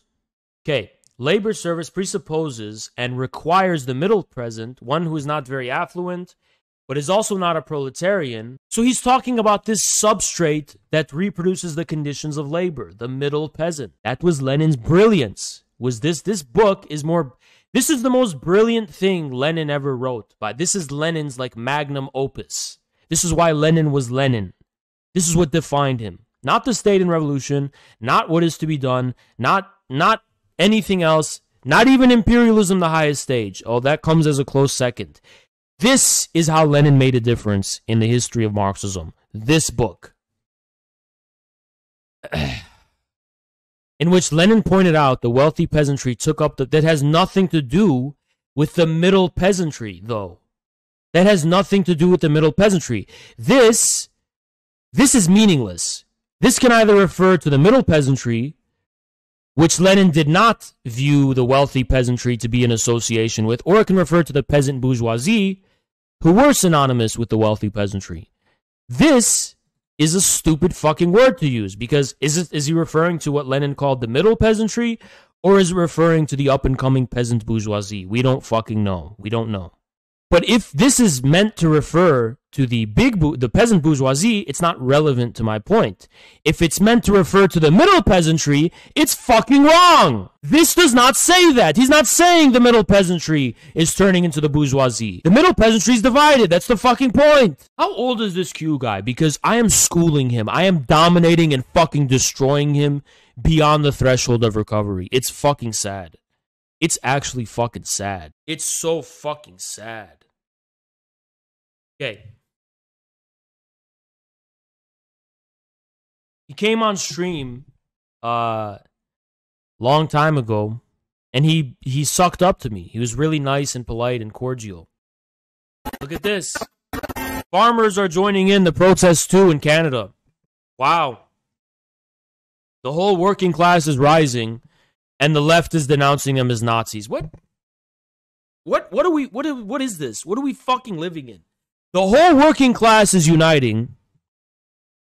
I'm going on Jackson's Twitter. It's where I got it from. The whole left is uniting. And the left, uh, sorry, the whole working class is uniting. It's an uprising of the Canadian people. And the left is denouncing them as Nazis.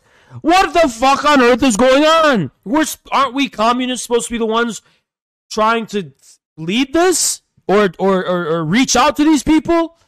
What is going on? Oh, wh- where's the Nazi flags? You guys see any Nazi flags? I don't. Well, where's the Nazis? You asked for it, everybody. There they are. There they are. Where's the Nazi flags? I don't see any. Farmers feed truckers fall. Yeah. Amazing. Downtown Ottawa. This is awesome. The left is denouncing this. I, I don't I don't know what the fuck to say. I don't it's holy fuck. Okay.